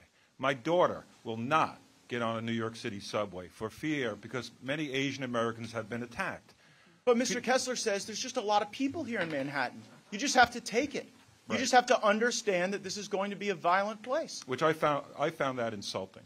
Uh, Well, Mr. DiGiacomo, you're here as the voice of, of law enforcement in, in many ways. And since the days of Cain and Abel, there has constantly been a violent criminal element as some feature of American society. And the lives we all get to live are lashed to whether or not we put that violent criminal element in charge or whether or not we constrain it for the sake of people who want freedom. And so, my question for you is when the day one memo of Alvin Bragg changes the way resisting arrest is treated. So people can resist arrest against law enforcement and not uh, actually face a consequence for that. What does that do to the enterprise of policing? Well, it makes the, uh, the officers and the detectives on the street, their job that much harder. Uh, everything becomes confrontational or physical, and they put themselves, the police officers and detectives, are in harm's way. Well, Now, we, we I- don't want to do that, but I have only, only a moment left.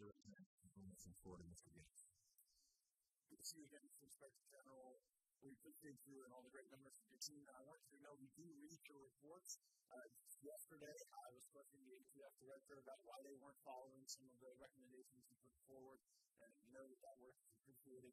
I also take note of our distinguished ranking members' call for this FISA reform to be bipartisan and to be nonpartisan, which at times are two different things. And I think it is thoughtful and mature Uh, and I will do all I can to resist the temptation to frequently point out that the very political weaponization that Ms. Williams testified about is often directed against Republicans. But based on, based on the members' solemn and thoughtful advice, we'll, we'll try to avoid uh, seizing on that point if there's a reason like otherwise. I, I want to get into the 3.4 million backdoor searches that the ranking member pointed out in his opening statement. Uh, Mr. Attorney General, how should the public think about this? Well, I think what we've seen in the various public reports, um, and I'm limited in what I can say about what's public, because I think one of the issues that it's talking about is transparency here. Um, it's, it's obviously very concerning that there's a bad volume of searches, um, and particularly concerning the error rate that was reported on in the last two years um, in the public reporting. Yeah, error rate was what? Um, I believe it was around 30 percent. Um, I, I think so the numbers. I think it's around 30 percent. Uh, 30, uh, I'm a lawyer, not a mathematician, but 3.4 million, about 30 percent. You're talking about seven figures of error in terms of these searches. I'm wondering how many people can perform these backdoor queries? I'm going to defer to board members because you have the review ongoing. I'm I don't have those figures at my fingertips in terms of the number of people that uh, can uh, conduct those types of searches. But I uh, share your concern expressed in the question that we need to uh, have great safeguards, and I urge Congress to incorporate a requirement for high court review of these kinds of searches to protect Americans' Fourth Amendment rights. Four million backdoor searches, more than a million of them in error.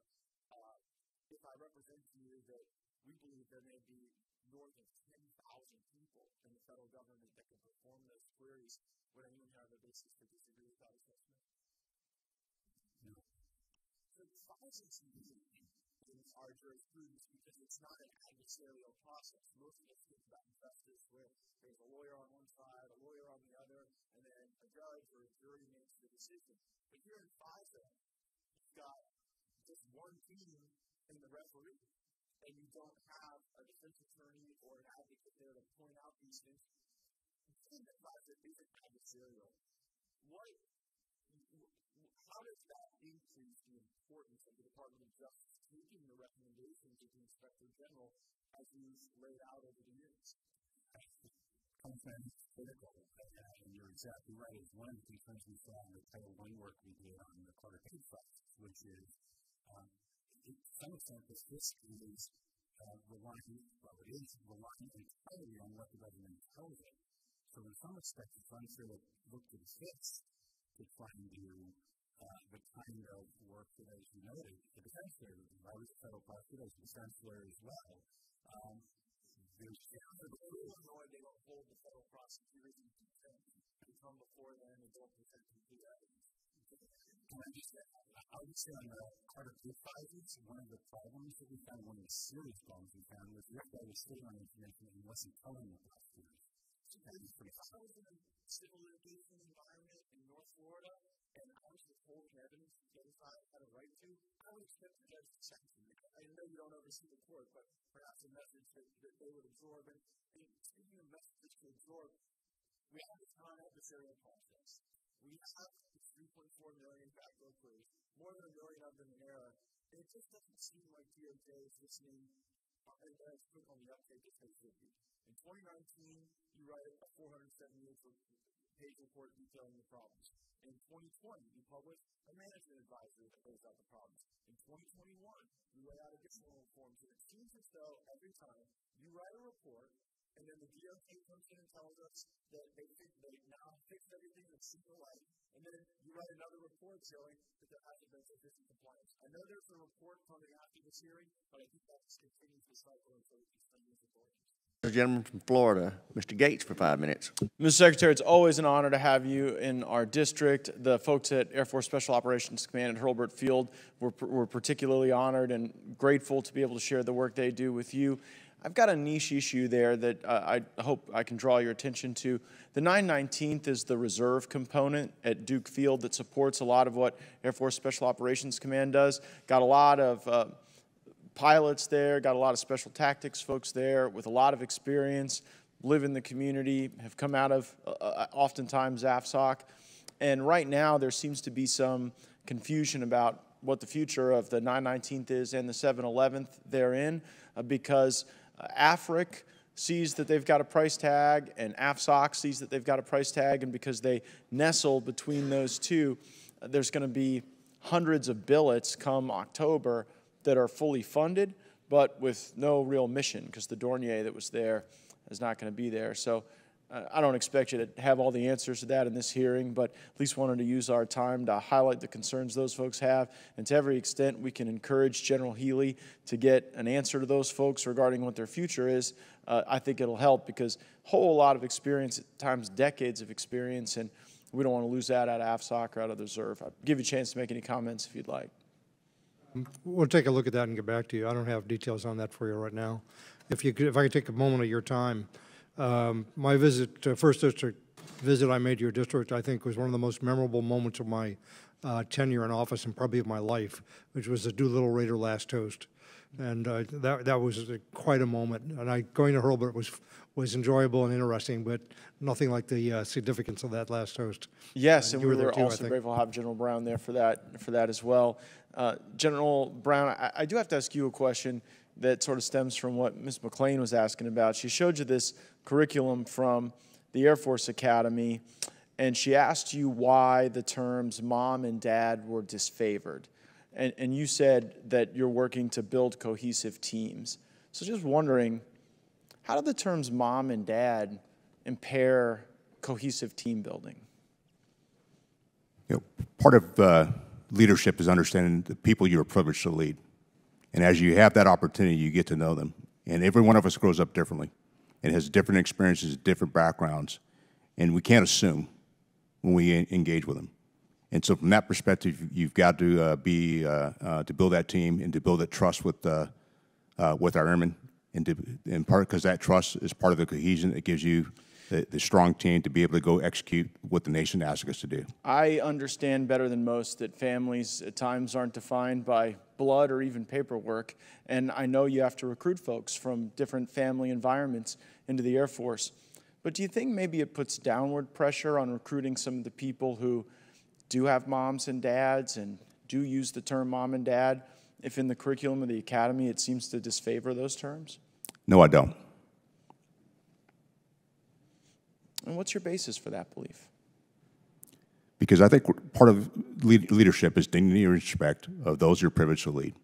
You don't And- think it disrespects people? I do not. tell- you don't do think it disrespects moms and dads when they send their um, young uh, children, I guess, becoming adults, into the academy, and, and then they see that mom and dad are disfavored terms? Do, do you agree that mom and dad should be disfavored terms? I, I think we need to respect the fact that they have either parents, grandparents, aunts, and uncles that, that, that sometimes raised uh, young people. Sure, but do, I, I mean, I know folks who've been raised by aunts and uncles, and none of them have ever told me that when they hear someone else call their parent mom or dad, that that upsets them. Do, do you know of people who, who, are, who feel excluded when others refer to their parents as mom or dad?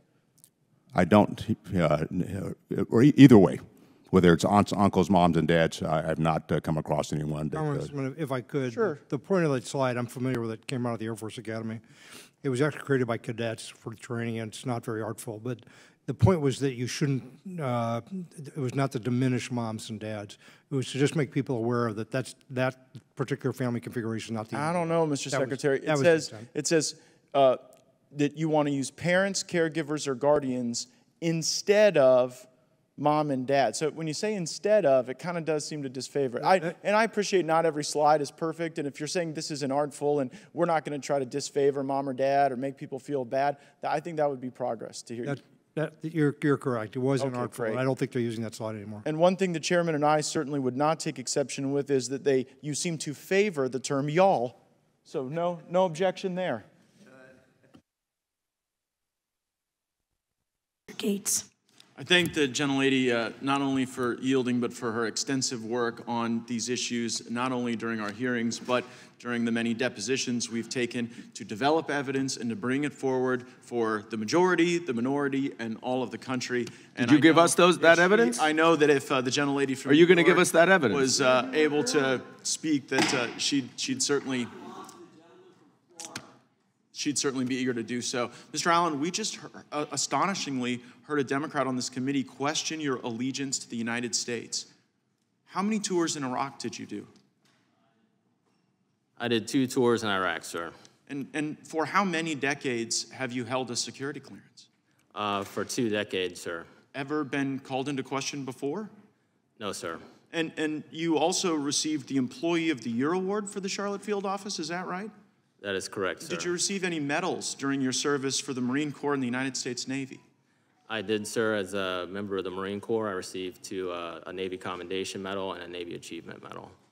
Seems to me your allegiance to the United States is pretty well established over multiple decades, wearing the uniform, fighting for our country, and I am proud that you continue to fight for our country as a whistleblower here, making a disclosure to the United States Congress.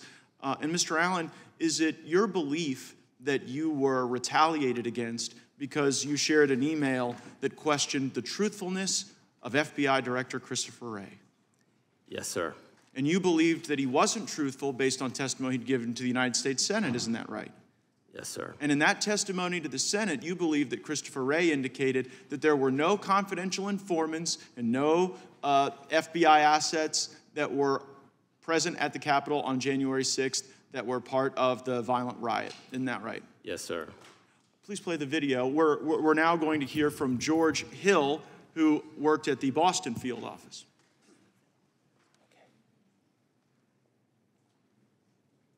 the SSA in Boston said they were going to a political rally, which is First Amendment protected activity. No, we're not uploading. We're not starting cases on these people. To which they said, well, we're going to call your SAC. And the SSA said, go right ahead. Because when you're pushing back, you know, you want to make sure that you have your, your six covered. So the SAC and the ASAC were intimately aware of these kinds of exchanges that were going on. And again, to his credit, um, Joe Bonavolonta said, no, we're not opening up cases on people who went to a rally. And I forgot a key part. The SSA for CT2 said, happy to do it. Show us where they were inside the Capitol, and we'll look into it. To which WFO said, we can't show you those videos unless you can tell us the exact time and place those individuals were inside the Capitol.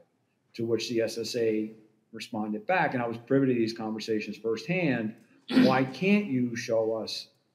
Why can't you just send us, the, give us access to the 11,000 hours of video that's, that's available?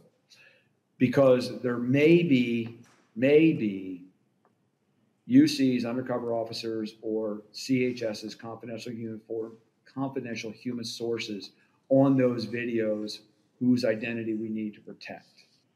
So, Mr. Allen, you got retaliated against for the very thing, for saying the very thing that the Washington field office was telling Boston when the Boston field office was saying, we're not going to go and investigate people that just showed up at a rally without sufficient criminal predicate. Uh, the, the Washington field office told Boston, well, you know what? We can't give you the evidence because it might disclose the very CIs and UCs that you are concerned about. But that doesn't surprise you, Mr. O'Boyle, does it? No, sir. And the reason it doesn't surprise you is that in a different part of the country, you saw that same pressure from the Washington field office. And did they ever try to get you to do something that was outside the normal order of law enforcement activity? Yes, sir. And what did the Washington field office try to get you to do that violated the law and regulations? They tried to get me to serve a federal grand jury subpoena when there was no proper predicate to do so. And the reason there was no predicate was because it was based on an anonymous tip, right? That's correct. And time and again, the Washington field office was trying to pressure you without corroboration to go start process on people. Isn't that right? Yes, sir. And so while I agree that January 6th was a violent day, a bad day, a day that nobody wants to relive, violence on January 6th doesn't justify weaponizing the government against people who were innocent and did nothing wrong. Thank you for blowing the whistle on that. I yield back. Mr. Chairman, I have a, a legit, sincere point of inquiry. Rule 11, Clause 2. Court is recognized. So, which Americans were being targeted? Now, August 20, August 2nd, 2022, a media organization attained a copy of a document which whistleblowers subsequently authenticated to the committee that is styled the FBI's Domestic Terrorism Symbols Guide on Militia Violent Extremists. Mr. O'Boyle, are you generally familiar with that guide? Yes. And, and that guide identified certain things that made people more likely to be deemed a threat or terrorists, didn't it? Yes. And wasn't one of those things just the number two and the letter A next to each other? Yes, it was. And in your experience as a law enforcement official, does putting the word two and or the letter two and A next to each other make someone more likely to be violent or law breaking? No. And uh, if someone signified the right that they support the right to bear arms, were, was that also something in the symbol guide? Yes. And how about this one really got me? The Betsy Ross flag. Was the Betsy Ross flag in the terrorism symbol guide? It was. And, and what about the Betsy Ross flag makes someone more likely to be a violent extremist? I wish there was a reasonable explanation for that question. There isn't. And people blew the whistle and said, This stuff is crazy. Americans are being targeted. Mr. Friend, you ever been to a school board meeting? Yes, I have. FBI ever sent you to the parking lot of a school board meeting? Yes, they have. And in the parking lot of a school board meeting where the FBI sent you, you were taking down information regarding people's license plates. That's correct. Now, it wasn't the first time you'd been to a school board meeting, was it? No, I went on my own as a private citizen. As a parent. Yes. And so there you were. It must have been quite an interesting perspective. There you were taking down the information of people, parents attending school board meetings on behest of the FBI, and you had been one of those parents at a school board meeting. How did that feel?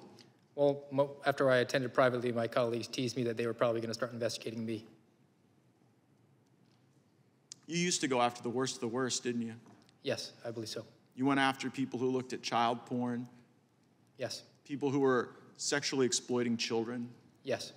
And then you were in the parking lot of a school board meeting, taking down the information of parents. What happened to the cases that you were working to, to protect our communities from the worst predators that exist?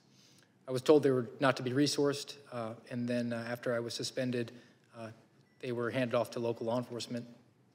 Wow, so the FBI just decided it was more important to have you in that parking lot of that school board meeting than getting the worst of the worst away from people that they could harm. That's correct. But you deserve the consequences you are getting, according to the ranking member. Mr. O'Boyle, what, the ranking member said that when people break the law, they deserve the consequences they get. And it doesn't matter that they served in the military. So, what law did you break before the FBI packed up all your stuff and moved it across the country to Virginia? No true law. The only thing I broke was not toeing the line for the FBI. Like I said when I opened, my oath is to the Constitution, not to the FBI. And our laws provide you avenues to talk to Congress, to talk to your supervisors about those concerns, right? Correct. And so you didn't deviate from that, did you? No. Uh, You didn't, you didn't go to the media first, did you? No. You used what the law provided, and your family has paid an exquisite price for that, haven't they? They have. How old were your children when they moved you across the country? Six, five, three, and two weeks. A two week old baby. Could you get your stuff? Six weeks later, oh, Also, for six weeks, almost every possession to your name the FBI had and wouldn't give back to you. How, how did you, what, what time of year was it? Was it winter, summer? when I reported, it was in September. Uh, so when we were traveling, it was summertime essentially. So we had basically summer clothes, but then we were uh, basically stranded uh, in Wisconsin, which is where we're from. It gets cold there pretty pretty quick. And Well, I'll take your word for it. I'm a Florida man. But what, what was it like when you had to go and explain to your wife that you didn't have coats for your children because the FBI wouldn't give them back to you?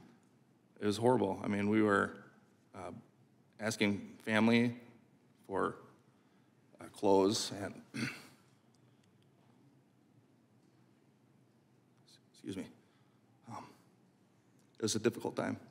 Yeah. You were you became a charity case, didn't you? I did. And now I get derided for that. I never thought I'd have to accept charity in my life.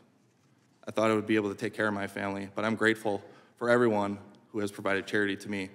That even includes a former colleague's uh, church. I would name the church to give them recognition, but I'm too worried that the FBI would send informants to infiltrate that church as well. Yeah. Well, they've already done that with the Catholics. I yield back. Gentleman yields back. Gentleman from North Dakota is recognized. Seconds to the gentlelady from Indiana. A quick follow-up on CHS 1 from page 243, who, according to your report, created conspiracy allegation in direct conflict with his recording and misstated significant material fact to the FBI, among other things, and you are unable to establish his intent. Would you be able to provide to the committee a recording of your CHS 1 interview on April 6, 2021, per page 192, and any other interviews in your possession? Yes or no? Um, I'm, did you refer to page 43? I'm sorry if I can just find on page 43. Page 92, would you provide recording to the committee that you list? Yes or no? The recording with confidential human source one, I think, is what she's asking about. Oh, and and um, she, she would like that provided. She's asking if that can be provided to the committee, Mr. Uh, Mr. Durham. I mean, it's a piece of um, evidence uh, that belongs to the FBI. I think probably that's better directed to the FBI. Uh, okay. Re reclaiming my time, uh, Mr. Durham, this seems to all started with one person, but I don't see his name in your report. I see it in Mueller's report 89 times. Who did Mr. Papadopoulos meet with that, that gave him this supposed Russian information? When Mr. Papadopoulos was interviewed by the FBI, um, he had identified Joseph Mifsud um, as a person who had provided him that information. Did you interview Joseph Mifsud? We attempted to um, interview him. Uh, we pursued um, every lead that we had. We talked to a lawyer that he had in Europe, but we never were able to actually make contact Is- with him so do- we could interview him. Do you think he's a, a, a Western source? Is he associated with Western intelligence? Um, it's hard to say who Mr. Mifsud is associated with. He was tied up with Link University. Um, Mr. Scotti, who had um, involvement in the Italian government, and mm, they were acquainted. um, hard to say who Mifsud. I'm, I'm going to yield the remainder of my time to Mr. Gaetz. Hard to say who Mifsud is. He's the guy who started the whole thing. We've known it for years. Go ahead and play the video. When the special counsel's office interviewed Mifsud, did he lie to you guys too? Can't get into that. Did you interview Mifsud? Can't get into that. Is Mifsud Western intelligence or Russian intelligence? Can't get into that. Well, I'm reading from your report. Mifsud told Papadopoulos. Papadopoulos tells the diplomat. The diplomat tells the FBI. The FBI opens the investigation July 31st, 2016. And here we are three years later, July of 2019. The country's been put through this. And the central figure who launches it all lies to us. And you guys don't hunt him down and interview him again. And you don't charge him with a crime. Maybe a better course of action is to figure out how the false accusation started. Maybe it's to go back and actually figure out why Joseph Mifsud was lying to the FBI. And here's the good news. Here's the good news. That's exactly what Bill Barr is doing. And thank goodness for that. That's exactly what the Attorney General and John Durham are doing. Well, Mr. Durham, was that what you were doing? I'm sorry, is that what? Was finding out who Mifsud was what you were doing? We pursued um, that avenue, yes. Right, but was he? This whole thing was an op, Mr. Durham. This wasn't like a bumbling, fumbling FBI that like couldn't get FISA straight. They ran an op. So who put Mifsud in play? You don't know, do you? I do not know that. I can't give you the answer. For years, you had years to find out the answer to what Mr. Jordan said was the seminal question, and you don't have it. And it it just it just begs the question whether or not you were really trying to find that out. Because it's one thing to, to criticize the FBI for their FISA violations, to write a report. They've been criticized in plenty of reports. Some have referred to your work as just a repackaging and regurgitation of what the Inspector General already told us. So if you, if you weren't going to do what Mr. Jordan said you were going to do in that video and give us the basis for all of it, what's this all been about? Well, I'm not exactly sure the import of your question. If, if your question is, Did we try to locate and interview Mr. Mifsud? The answer is yes. Why didn't you subpoena? We expended. Wait, why didn't you subpoena him to a grand jury? I'm sorry, why not? Why didn't you send him a grand jury subpoena? Mr. Mifsud? You'd have to find Mr. Mifsud before you could serve a grand jury subpoena on him. You guys were out in Italy. Was it you and Bill Barr looking for authentic pasta over there, or Mifsud? No, we uh, we not. Um, we were looking for information that might help us locate Mifsud. But you know who I think could probably locate him? The features of, uh, of Western intelligence and possibly our own government that put him in play. Like your report seems to be less a, an indictment of the FBI and more of an inoculation, lowercase i, of course. And like many inoculations, it may have worse consequences down the road. I, we'll have some time to discuss this matter further, but it's just hard. It's just hard to like pretend as though this was a sincere effort when you don't get to the fundamental thing that started the whole deal. I yield back. I was away from my family for four years, uh, essentially doing this investigation. Is my view is a sincere effort. The fact that you can't find somebody overseas um, should not come as a big surprise. Could you find Azra Let's re- reclaiming my time. Is he alive or dead? This can respond. I'm not, I'm not sure there was a, a question at the end. Okay. I know, I'm just giving you I was, opportunity I to was gonna, I didn't get there. Yeah. Uh, The gentleman from Florida is recognized. Yeah, I, I agree with Mr. Biggs. You've given us testimony today that you're disappointed that the FBI didn't cooperate more, right? That was your testimony. Said that. Yeah, so we're disappointed too, but the difference is when regular folks do things that are wrong and unlawful, there's typically greater effort to try to get those people before a grand jury to, to utilize criminal process where appropriate, not, not for other purposes. And it's just like, oh, well, Bill Priestap, the guy who might have set this whole op in motion, he just didn't want to talk to you about certain things, and you were real accommodating to that. And then Mifsud, the person who juices Papadopoulos to create this predicate that you find improper. You guys, you, I mean, did you ever know who his lawyer was, Mifsud's lawyer? Talked to his lawyer in Europe. Not a, I don't know if So wait, wait, you could find the guy's United lawyer, States. but you couldn't find him? We uh, contacted uh, somebody that we knew had had, rep- had represented him in a, a part of the effort to try to locate him. And you got the lawyer. And then now you're, you're sitting here in front of the judiciary saying you could find the guy's lawyer, but you couldn't effectuate the service of a subpoena because you couldn't find him? Well, you, do you know first how of all, that sounds? as you may or may not know, we wouldn't have um, the authority to serve a subpoena overseas. Um, the lawyer didn't know where Mifsud was. He was in communication uh, with him, but he claimed not to know where he was. And we were trying to arrange um, an opportunity to talk to Mifsud. Did you take uh, possession of two BlackBerry phones from Mifsud in any way? There were phones that were provided to us oh, by so you could find the phones, lawyer. the guy. Correct? Do you see how silly this looks? Like you found the lawyer, you found the phones, but the actual dude who got ordered by Western intelligence to go start this thing you couldn't find? It- it- It's, it's kind of laughable. It seems like more than disappointment. It seems like you weren't really trying to expose the true core of the corruption. That you were trying to, you were trying to go at it another way. As we said in the um, report, and as I said in my opening remarks, we pursued the facts as best we could. Well, how about this tools fact? that we have? Okay, how about this fact, Mr. Durham? The entire Mueller team does a hard reset on their Apple phone in synchronization to wipe away evidence. Did you investigate that? I've read that. Well, why didn't did you investigate it?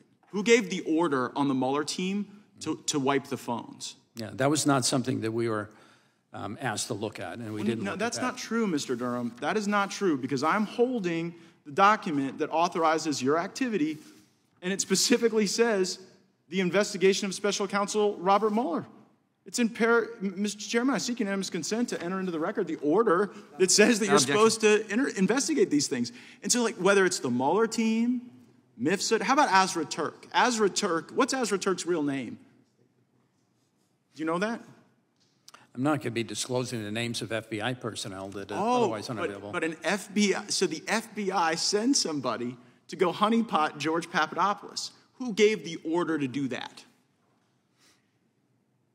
I think that's beyond the scope of what's in the report. It's literally the scope of what your charging order is. Who put it in motion? We get after it was put in motion, the FBI did a bunch of wrong and corrupt things. Totally understand. We're trying to deal with that. But when you are part of the cover up, Mr. Durham, mm. then it makes our job harder. Mm.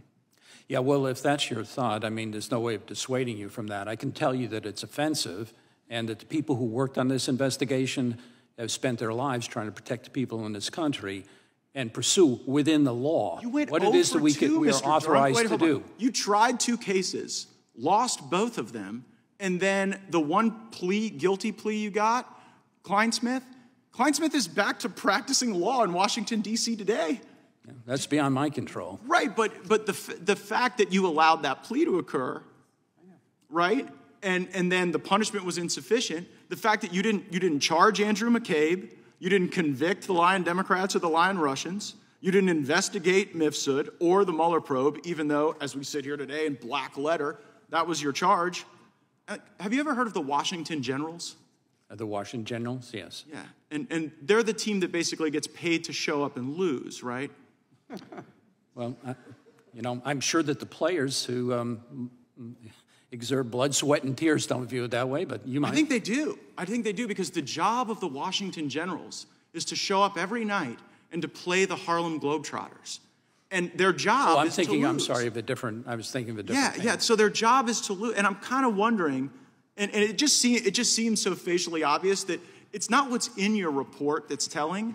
Hmm? It's the omission. It's the lack of work you did. And for the people like the chairman who put trust in you, I think you let them down. I think you let the country down. And you are one of the barriers to the true accountability that we need.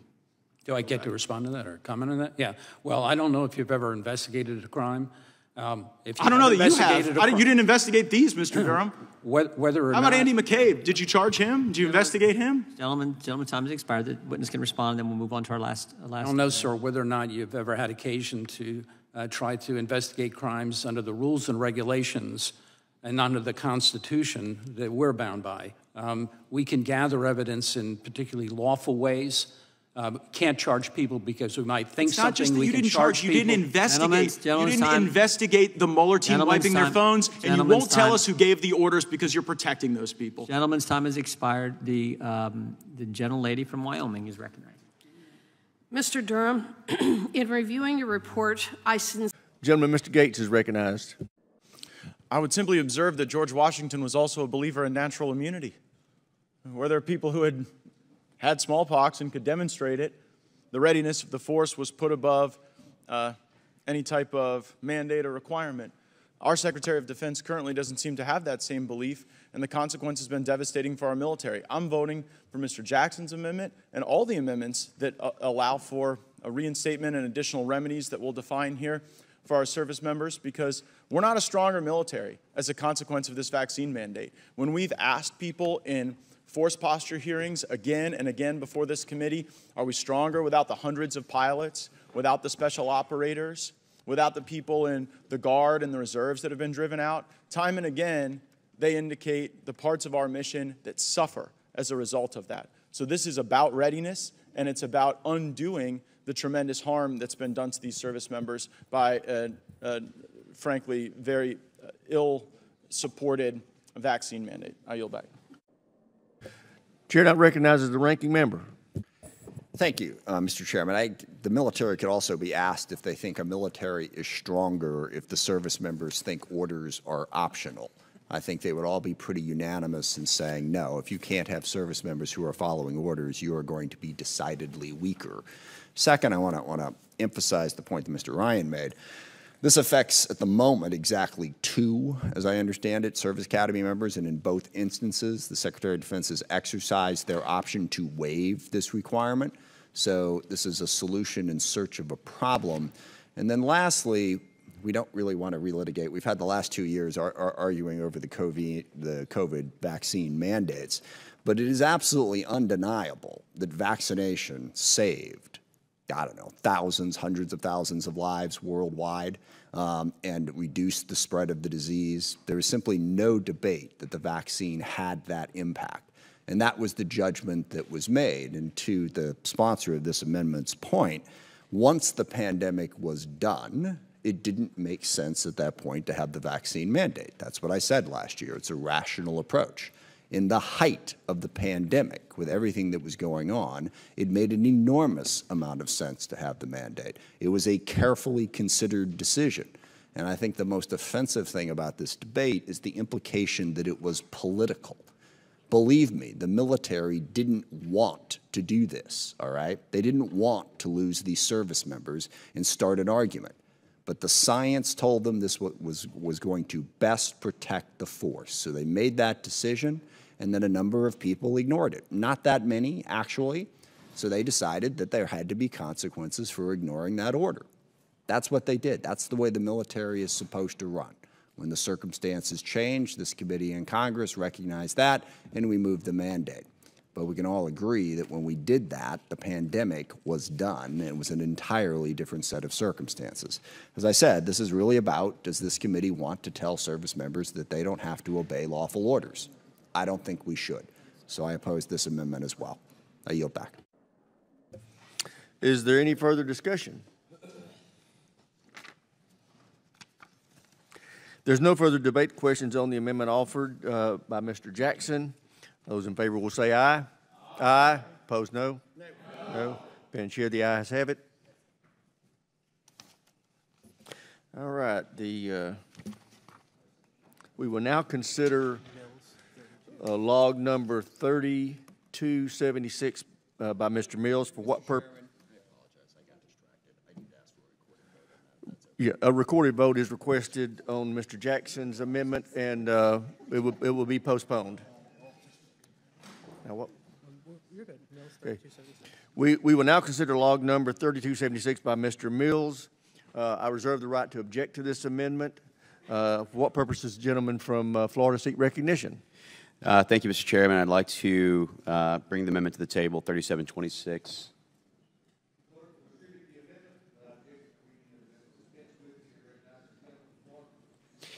Thank you, Mr. Chairman.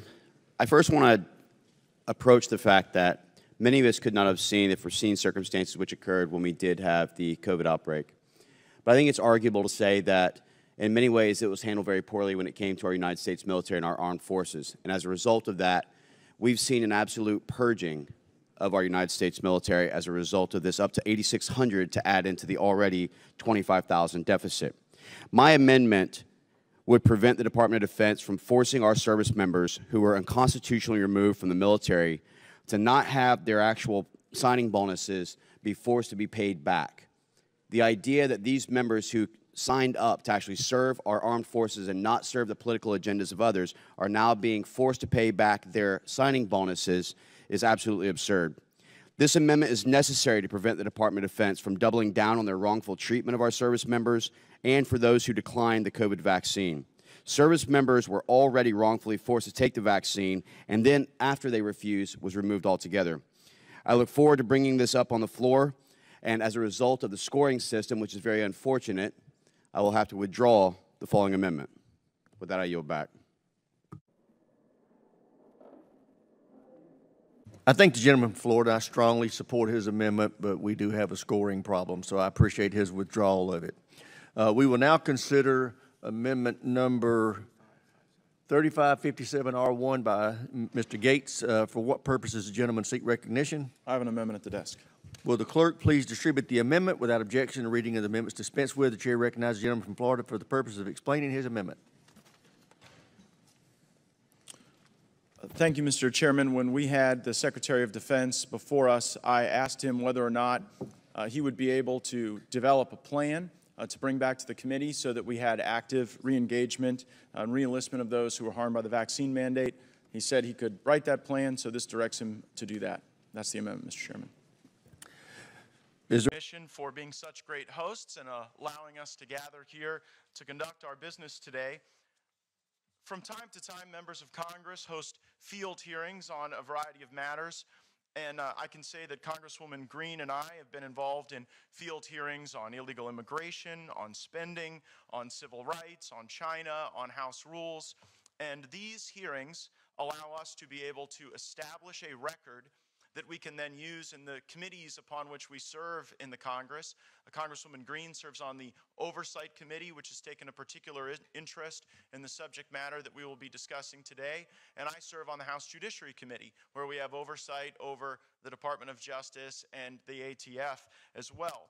Uh, we can use and will use the content and clips from our discussion today uh, during committee debates. You may have seen recently when we had Special Counsel Durham before the Judiciary Committee, I used clips that had been developed in prior hearings uh, to be able to elicit answers. And we also make a record so that in the internal meetings and caucuses of the members of Congress, we're able to persuade people to our viewpoints. And, and as we gather here today, members of Congress are receiving feedback on important matters such as this because we are upon the appropriations process, where I know Congresswoman Greene and I have great interest in ensuring that the resources of our government are not directed uh, at entities that have been weaponized against our people. And uh, so before I, I, give my full opening statement, we'd actually like to play a video uh, reflecting on, on some of the discussions that we've had in Congress on these matters. 16 federal ATF agents were met with questions and skepticism by four Georgia members of Congress.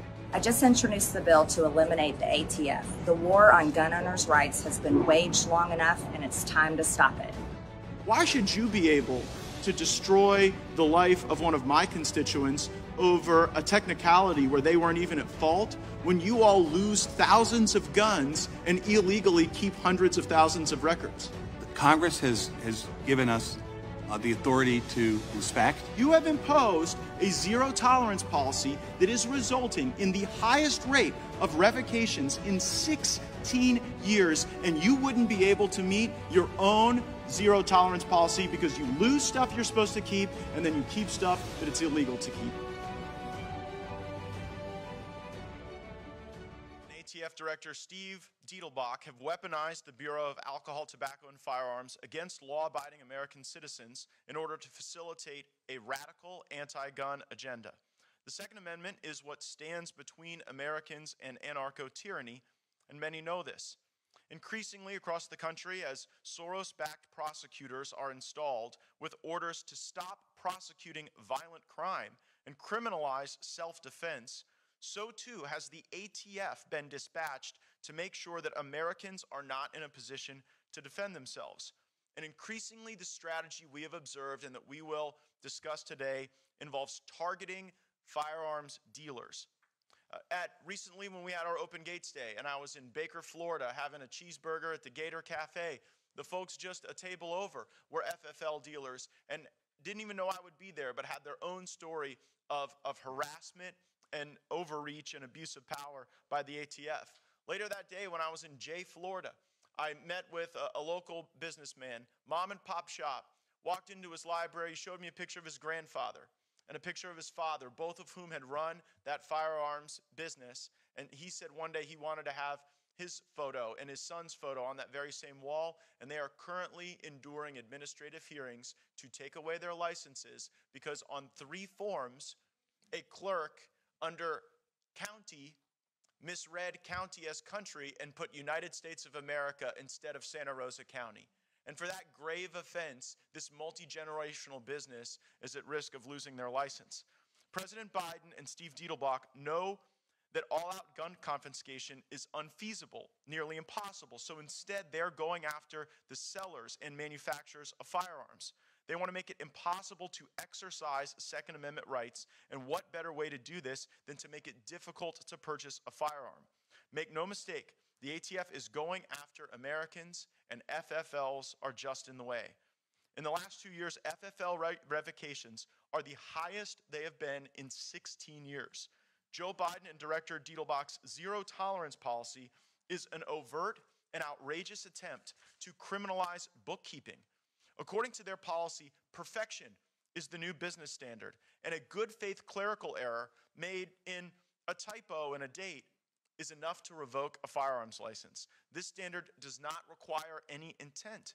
Nowhere in our justice system is such a standard found. Nowhere will you pay such a high price for a good faith and negligible error, not to mention that the error may be the result of trying to comply with erroneous and confusing red tape. This standard is unconscionable, unconstitutional, and an affront to the rule of law in our country. Federal firearm licensees all over the country are now being targeted by the ATF, and right here in our district in Northwest Florida, we see that occurring as well. Numerous constituents have been targeted and harassed for no reason at all. The ATF comes in and tries to put them out of business, and I know Congresswoman Greene will speak to that dynamic in Georgia as well. Many of these constituents are so terrified about retaliation, and rightly so, that they could not be here today. But two of my constituents, Chris Smith and Miles Schuler, are here today, and I thank them for their advocacy and for standing up for their rights and for standing up for their customers as well and their rights. I hope that their testimony will embolden others who are watching to come forward and provide us critical evidence in this endeavor. Just last week, the IRS raided a Montana gun shop and confiscated ATF forms 4473, which contain personally identifying information of firearm purchasers, as well as the serial numbers of firearms that were purchased. The warrant was for financial records, but these ATF forms were confiscated even though they were outside of the scope. No one can deduce that these records will make their way to the ATF to join the nearly 1 billion records already in the possession of the ATF that are being digitally transferred to searchable databases in contradiction to existing statute and the DOJ's own directives. This unconstitutional database is still in effect today, despite the Government Accountability Office reprimand to the ATF in 2016 for maintaining this database and not adhering to their own standards. The history of the ATF is fraught with misconduct. Since 2015, thousands of guns have been stolen from the ATF's National Disposal Branch. Recently, the ATF has been caught routinely misclassifying bureaucrats as law enforcement officers, improperly costing taxpayers millions of dollars in additional pay and enhanced benefits that's supposed to be going to law enforcement officers. The ATF has even been known for setting up entrapment stings around the country and here in Florida, taking advantage of mentally disabled people in order to sell guns to criminals with the hope of tracking those guns. And they often lose track. This agency is an absolute clown show masquerading as a law enforcement bureau. Not to be outdone by past transgression, their latest bureaucratic assault on the Second Amendment is horrifying. The ATF's new rule, criminalizing pistol braces, is a brazen attempt to usurp congressional authority over our nation's laws, and they are abusing their rulemaking powers. I believe that this pistol brace rule will fail for the same reason the bump stock rule failed. The ATF does not have the authority to create federal law. This new rule will ban pistol, pistol braces on certain firearms, forcing users to jump through numerous hoops to comply with this decree or risk becoming a felon. Tens of millions of Americans could be affected. Disabled veterans, many of whom live in Northwest Florida, have used these braces for years to help them fire these pistols, enhance their mental health, engage in recreation and sports shooting. Now, these law abiding Americans, many of whom are patriots and heroes, will have to destroy their newly illegal firearm or figure out how to comply with arbitrary and confusing regulations outlined in the National Firearms Act. I'm not sure if the ATF really knows what this entails, but I sure know that Director Dettelbach doesn't know because he contradicted himself in testimony before the House Judiciary Committee. If a private citizen did a quarter of what the ATF does on a yearly basis, they would be thrown in prison for the rest of their life. The ATF may be beyond reform. It's a prime directive, and it's unconstitutional and diametrically opposed to Americans' rights to bear arms increasingly in their actions. There's no immediate timetable in which the ATF might become an ally of law abiding Americans. Even under Republican administrations, the ATF has become an enemy of firearm owners without enhancing public safety. This is why we are leading the fight, along with Congressman Woman Greene to defund and abolish the ATF, and I urge my members who cherish their rights to look for ways to empower our local law enforcement, to empower state law enforcement, to be able to utilize other assets uh, to get away from an agency that seems to have lost its way. Uh, Congresswoman Greene, I now recognize you for your opening statement. Uh, thank you very much the American people need to understand what just happened. My, col- my Democrat colleague just asked the director of the FBI whether or not they are buying information about our fellow Americans. And the answer is, well, we'll just have to get back to you on that. It sounds really complicated. But I have other questions. I'm sitting here with my father. I will make certain that between the man sitting next to me and every person he knows and my ability to forever hold a grudge, that you will regret not following my direction. I am sitting here waiting for the call with my father. Sounds like a shakedown, doesn't it, Director? Uh, I'm not going to get into commenting on that. You, you, you seem deeply uncurious about it, don't you? Almost suspiciously uncurious. Are you protecting the Bidens? Ac- Absolutely not. The FBI Well, does not, and has no on. interest in You won't answer the question about whether or not that's a shakedown, and everybody knows why you won't answer it. Because to ev- to the millions of people who will see this, they know it is, and your inability to acknowledge that is deeply revealing about you. But let's go from the uncurious to the downright nosy. How many illegal FISA queries have occurred under your leadership of the FBI? Well, there are reports that have come out with different numbers about uh, compliance incidents. More than a million illegal ones? Because that's what the Inspector General said. The Inspector General said that in the 3.4 million of these queries, more than a million were in error. Do you have any basis to disagree with that, that assessment by the Inspector General? I- I'm not, I'm not sure actually that's a, com- a correct characterization of the Inspector General's uh, Oh, well, findings on well, that. the but- internet will remind you of I- that in moments. But, but let, let's now go to uh, what the court said. The court said it was over 200,000 that have occurred on your watch. Would- do you have any basis to disagree with that assessment? Again, I don't have the numbers as I sit here right now. What I can Seems tell like you, a number you should know. How many times the FBI is breaking the law under your watch, especially if it's like over a million to not know that number. And I'm worried about your veracity on the subject as well. Play this. Play the video.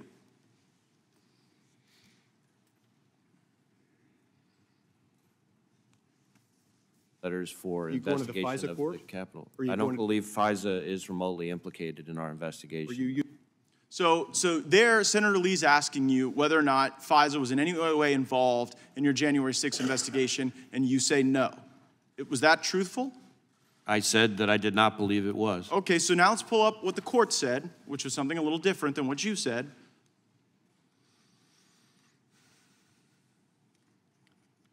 So, so here, nope, that's not the right one. Yeah, here we go. Right there, it says the government has reported additional significant violations of the querying standard, including several relating to the January 6, 2021 breach of the Capitol. So I guess the question, Director Wray, is did, did you not know when you were answering these questions that the FBI was engaging in these illegal searches, or did you perjure yourself to Senator Lee? I certainly didn't perjure myself. At the time that I testified in front of the Senate Judiciary Committee, uh, I didn't have that piece of information. I will add. Well, that was a court order. You didn't have that piece of information because the court hadn't yet rendered a judgment. Did you not know when you gave the untruthful answer before Senator Lee that this was going on? It was a it was a truthful answer. I did not believe FISA had been involved in the January 6th But it was. So you didn't. The answer is the FBI has broken so bad that people can go and engage in queries that when you come before the Congress to answer questions, you're like blissfully ignorant. You're blissfully ignorant as to the unlawful queries, you're blissfully ignorant as to the Biden shakedown regime. And it just seems like it gets into a kind of a creepy place as well. Go to our, our next image on what the court said. Like, just so the American people realize, the, the court has smacked you down, alleging or ruling FBI personnel apparently conducted queries for improper personal reasons. People were looking themselves up, they were looking their ex lovers up. Who has been held accountable or fired as a consequence of the FBI using the FISA process as their like creepy personal snoop machine? There have been instances in which individuals uh, have had disciplinary action uh, and who are no longer with it. I, I can't get into it here, but we can follow back up But with don't you that- see? Don't you see that that's kind of the thing, Director Wray, that you preside over the FBI that has the lowest level of trust in the FBI's history. People trusted the FBI more when J. Edgar Hoover was running the place than when you are. And the reason is because you don't give straight answers. You give answers that, that later a court deems aren't true. And then at the end of the day, you won't criticize an obvious shakedown when it's directly in front of us. And it appears as though you're whitewashing the conduct of corrupt people. Respectfully, Congressman, in your home state of Florida, the number of people applying to come work for us and devote their lives working for us is over up over 100%. We're deeply proud of them, and they deserve better than you. Time of the gentleman has expired. The the gentleman from Tennessee is recognized for five minutes. You are a brilliant woman with a tremendous ability to impact how consumers are going to interface with the digital world for a long time to come. And I want to get to those areas of agreement, but there is some ugliness we got to deal with. Now, you guys putting in the names of reporters in a correspondence to Twitter was solely predicated based on anonymous news sources, right? It was based on reporting that we Right, and, and we would agree that anonymous reporting is not a sufficient predicate for, to target, you know, to send letters about journalists who are your critics, right? Congressman, yeah, I mean, you know, the goal was third parties, but this is good feedback for us. We want to make sure we're not in any way suggesting that we're interested in, you know, affecting journalists' work. It's really about privacy and security. So I really I appreciate, appreciate your acknowledgement that that is not the way we ought to do things. As you know, someone who has seen government, ugly government action emerge out of anonymous reporting, perhaps I'm a little sensitive to that, but I'm glad that um, you've made that acknowledgement. Let's get on to the important work that you are doing. Millions of Americans have Ring doorbell cameras, and your agency recently set, recently put out um, a, uh, a correspondence saying, "quote." During a three month period in 2017, a Ring employee viewed thousands of videos of female users in their bedrooms and bathrooms, including videos of Ring's own employees. There was also at Ring, according to the FTC, an unauthorized tunnel that allowed a Ukraine based contractor to access consumer videos.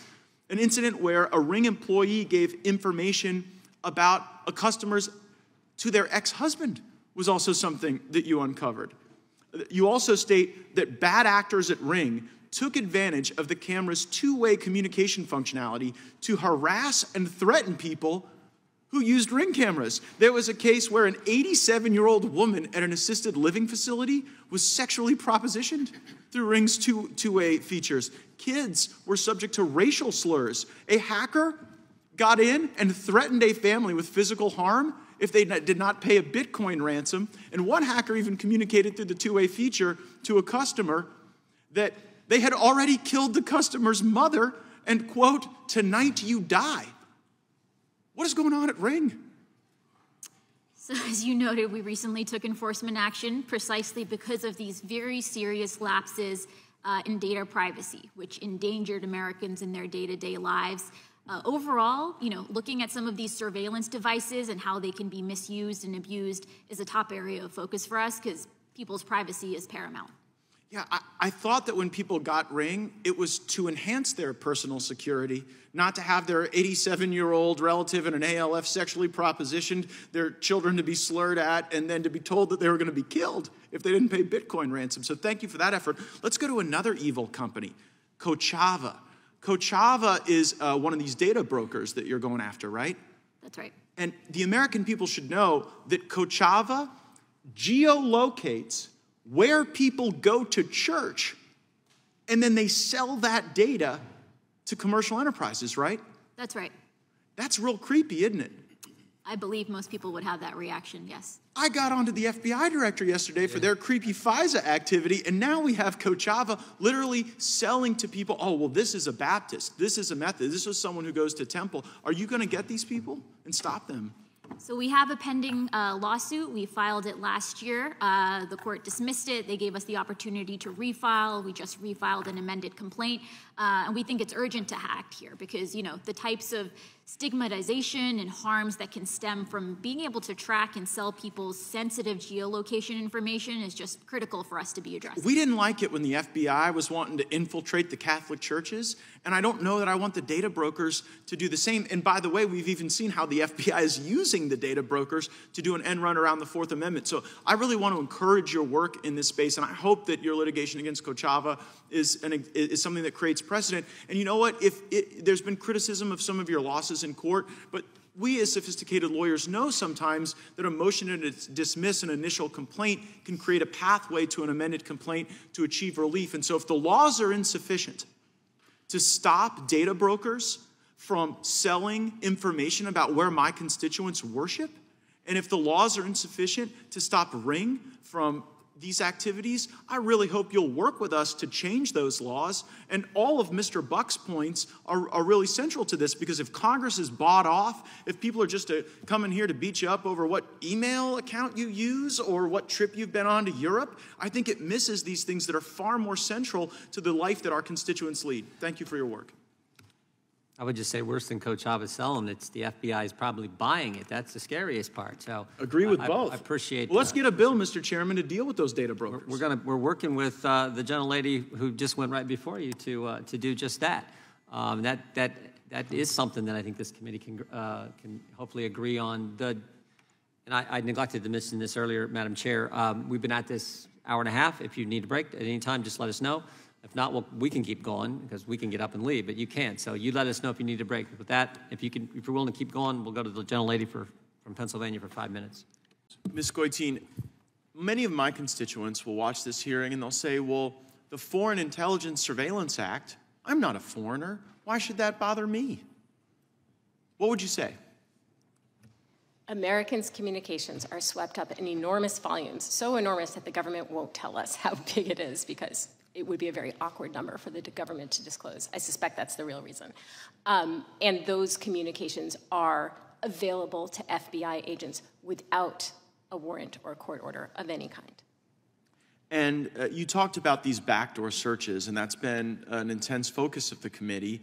Uh, could you help define that for folks so they understand the, the risk there? Sure. What a backdoor search is, is an electronic query of data obtained under Section 702. So the communications are obtained, they are placed into data systems um, at the NSA and then shared with the FBI, the National Counterterrorism uh, Center, and the CIA.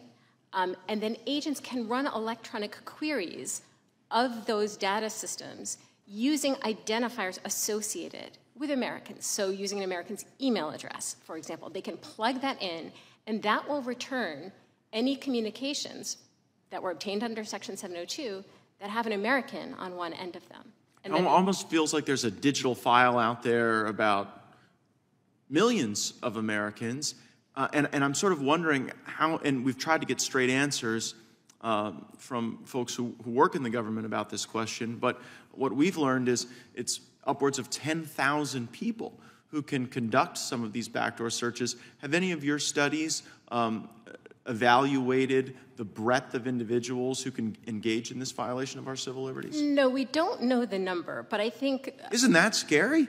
Shouldn't we? I mean, it seems like something we should know. Uh, how many people can do backdoor searches into information that was not collected pursuant to any probable cause or a warrant? Yeah, it would be a good thing to know. And one of the reasons why I think we should be curious about it is because uh, the government has told the FISA court that one of the reasons for all of these violations we've seen is that FBI agents didn't understand the standard for those searches. And that standard is that the search has to be reasonably likely to obtain foreign intelligence or evidence of a crime. Well, and- that doesn't sound like rocket science to me. And that standard has been in place for 15 years. But they they break it. Well, I mean, I just read an order from the Foreign Intelligence, the, the FISC, the court, and the court said, well, you weren't just using these searches and queries to get legitimate law enforcement information. At times, people at the FBI were searching themselves, searching their ex-lovers, searching their neighbors uh, in this system, um, and and so it, it seems as though they're not really there's not a standard that's ad- adhered to.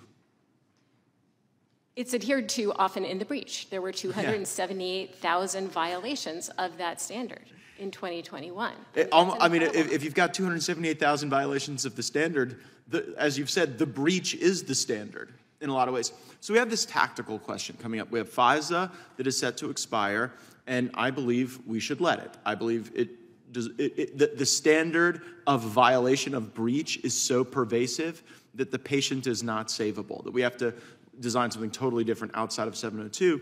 And then I have other colleagues who are, who are like minded in my desire to protect civil liberties, but who suggest tactically that the best approach is to try to insert strong warrant requirements.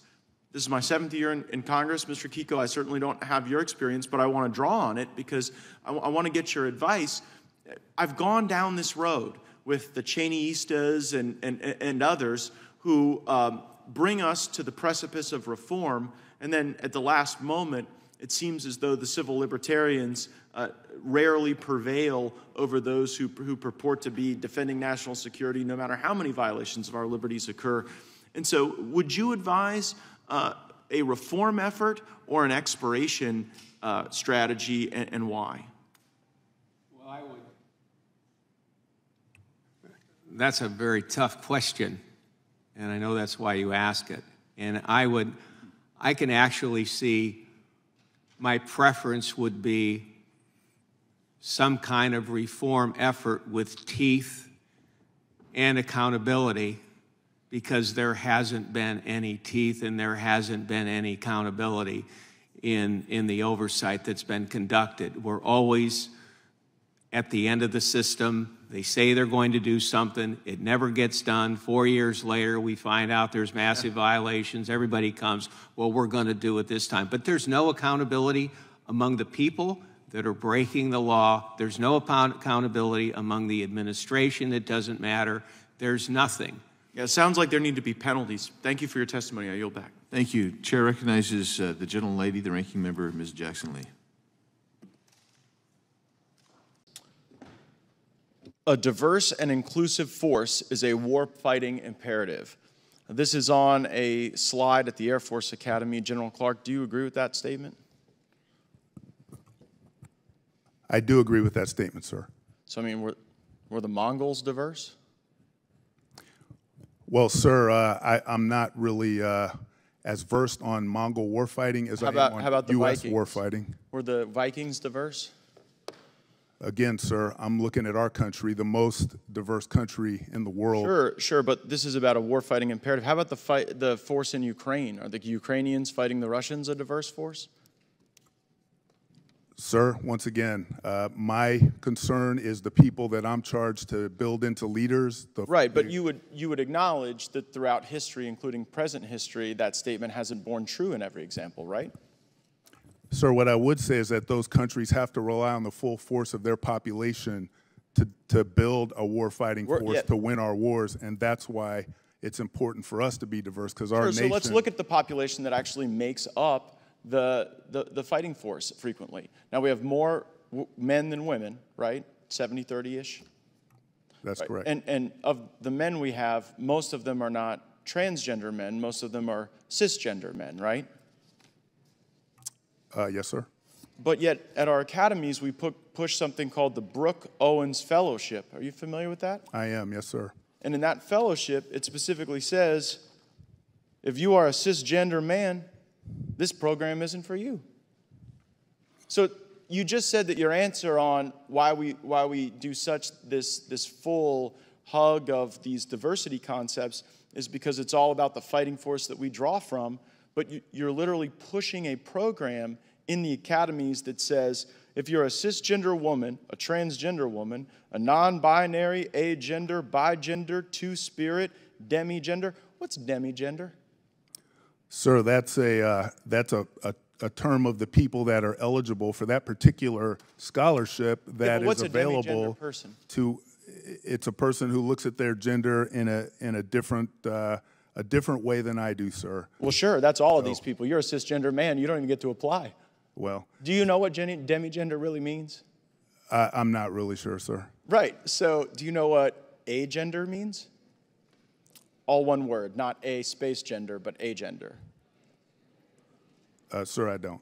Right, so here we are pushing a fellowship, calling for people that you don't even know what the words mean, and the number one group of people, the cisgender men, are excluded. Now, in the name of diversity, equity, and inclusion, should we be pushing programs that we can't define that exclude the largest group of service members? Well, sir, first, that uh, program is not an Air Force Academy program. It's a program open to our entire country. Right, so but we you, guys, allow, you guys advocate for it within the academy. We allow our cadets to apply for it. Why are you allowing your cadets to apply for a program when you cannot define the basic terms of eligibility? Because it's an opportunity for us to develop them as warfighters, and we look for every opportunity that we can. But you don't even know what the words mean. How can to, you use this as a way to develop the warfighters if you don't know what it means? Well, some of those those uh, terms may not be applicable to us at the Air Force Academy, but some are. But but, so, but if well, if you don't know what they mean, it's hard to tell if they're applicable or not. So, I think one of the reasons why some of this stuff has gotten into the academies is because we don't have the same oversight from the Board of Visitors. And, Mr. Chairman, I seek unanimous consent to enter into the record uh, an article from the Washington Examiner entitled, To Push Woke Ideology, Biden Illegally Gutted Military Academy Oversight Boards. And so in this piece, it goes through a timeline where on September 8th, 2021, all of President Trump's appointees were fired. On September 17th, Secretary Austin created Board of Visitors subcommittees, and then he populated those subcommittees with people who weren't on the Board of Visitors. Have you ever seen that happen before? Sir, our Board of Visitors is populated and, uh, and supports us in great fashion. Right. So What about the subcommittee? Are there people on the Board of Visitors subcommittees who are not on the Board of Visitors? I can't answer that, sir. Seems like something we ought to know. I, I'm, yes, sir. I'm not sure. Right, but that would be odd, right? I mean, here, okay, I'll, let me ask the question this way. You, you don't have any basis to disagree with the reporting here in the Washington Examiner that literally we have people who are not on the Board of Visitors who are serving on these subcommittees. You have no basis to disagree with that, do you? Uh, sir, I'm not exactly sure the question you're ans- asking, so I- I'll have to take well- that for record so I can understand what you're Look forward exactly what you're asking. Thank you, Mr. Representative Escobar. Uh, I'd like to thank our panel for your service to our nation and for your course of that 47 months, they don't necessarily come in as defined as such. We provide those skills and capabilities. Thank you. I yield back. Uh, Representative Gaetz. Let's put the slideshow back up that we were discussing earlier. This was at the Air Force Academy instructing students on how to use inclusive language. Uh, we had Secretary Kendall here, and when we got into the whole mom and dad thing, Secretary Kendall said, Yeah, we probably aren't going to tell students they can't say mom and dad. That was inartful. So if there are other things here that are inartful that you want to disclaim, that's a totally reasonable thing for a person uh, to do. So I want to start with this contention that uh, to be inclusive, cadets would have to not use the term colorblind or say we're all just people. Is there something wrong with aspiring to be colorblind in the United States military and particularly the Air Force Academy? Sir, I, I think it depends on um, how you use, how a person uses that term in the in context. I think that most people, if you're of a, a different race or a different color, that you don't want to be, you want to be seen for who you are. You don't want someone to look at you and not see, in my case, a black man, because that's who I am. I don't want you to be blind to that, but I want a person to accept that and to understand that and to include me as if they would include any other person that might be of a different color. Well, we as a country were in many ways educated on the concept of colorblindness through the civil rights movement. And in Dr. King's many remarks, he would talk about the virtue of judging one another not by the color of our skin, not you as a black man, me as a white man, but by the content of our character. Do you worry that the Air Force's critique of color blindness could be viewed as a critique of the very values that undergird the civil rights movement? I, I don't think so. I, I, in my interpretation of Dr. King's words, he's not saying don't recognize the color of a person. He's saying once you recognize it, don't judge them by that color. Didn't Dr. King explicitly call for color blindness?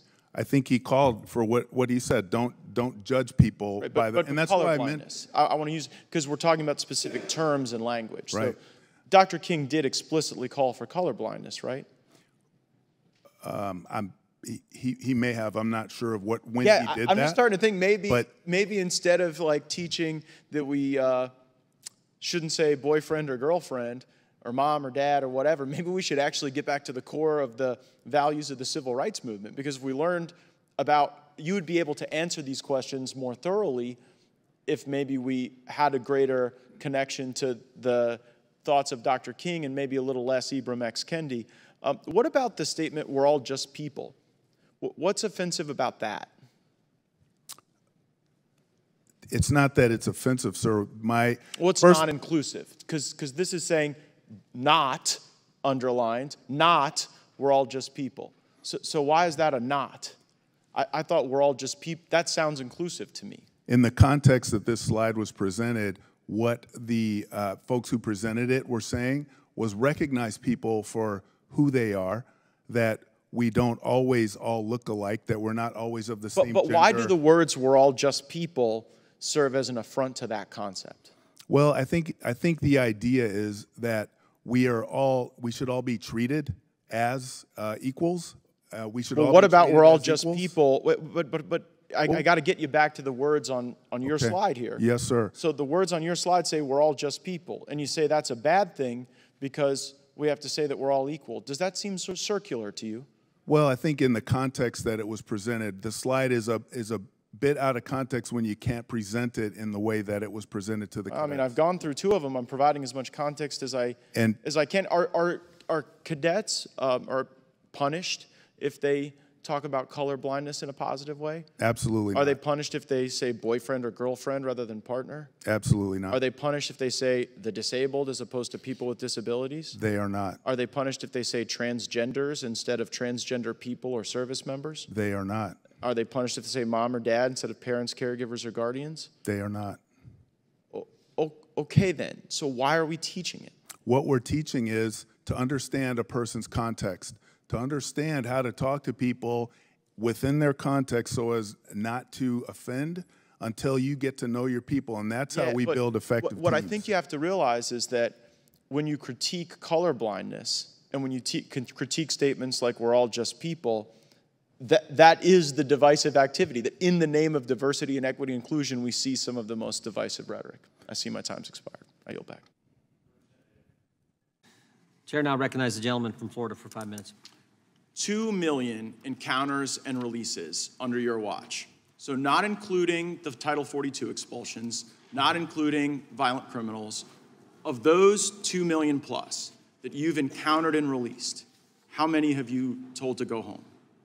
Um, uh, Congressman, uh, individuals who are released are placed in immigration enforcement proceedings under the law where they can make their claim for relief. If their claim for relief is not satisfied, they are subject to removal from the United Right, States. Right, subject to removal sounds very different than actually removed. So I'm not interested in the process, I'm not interested in what people are subject to. Two million people encountered and released, not the expulsions under Title 42, not the criminals. How many of those people have you deported? So, uh, Congressman, a few points. Number one, Just how many of the people? I just want to know how many. Just a number. Congressman, uh, we are dealing with a completely broken immigration I get it. I, no, no, no, Mr. Secretary, I'm not going to let you burn my five minutes. Do you know the answer? Do you know the number of people out of that two million that you've removed that aren't criminals? I do know that we have removed more aggravated felons. Right, I'm not asking about them. You, you, I, I've caveated that away because here's what I'm, I'm sort of getting and what your non responsiveness is demonstrating. The Mayorkas doctrine is this if you show up at the border and get released into the country, if you don't commit a specific aggravated felony, which by the way doesn't include a lot of assault and battery, doesn't include a lot of bad domestic violence, but if you're not one of the people who commit those crimes, you get to stay forever.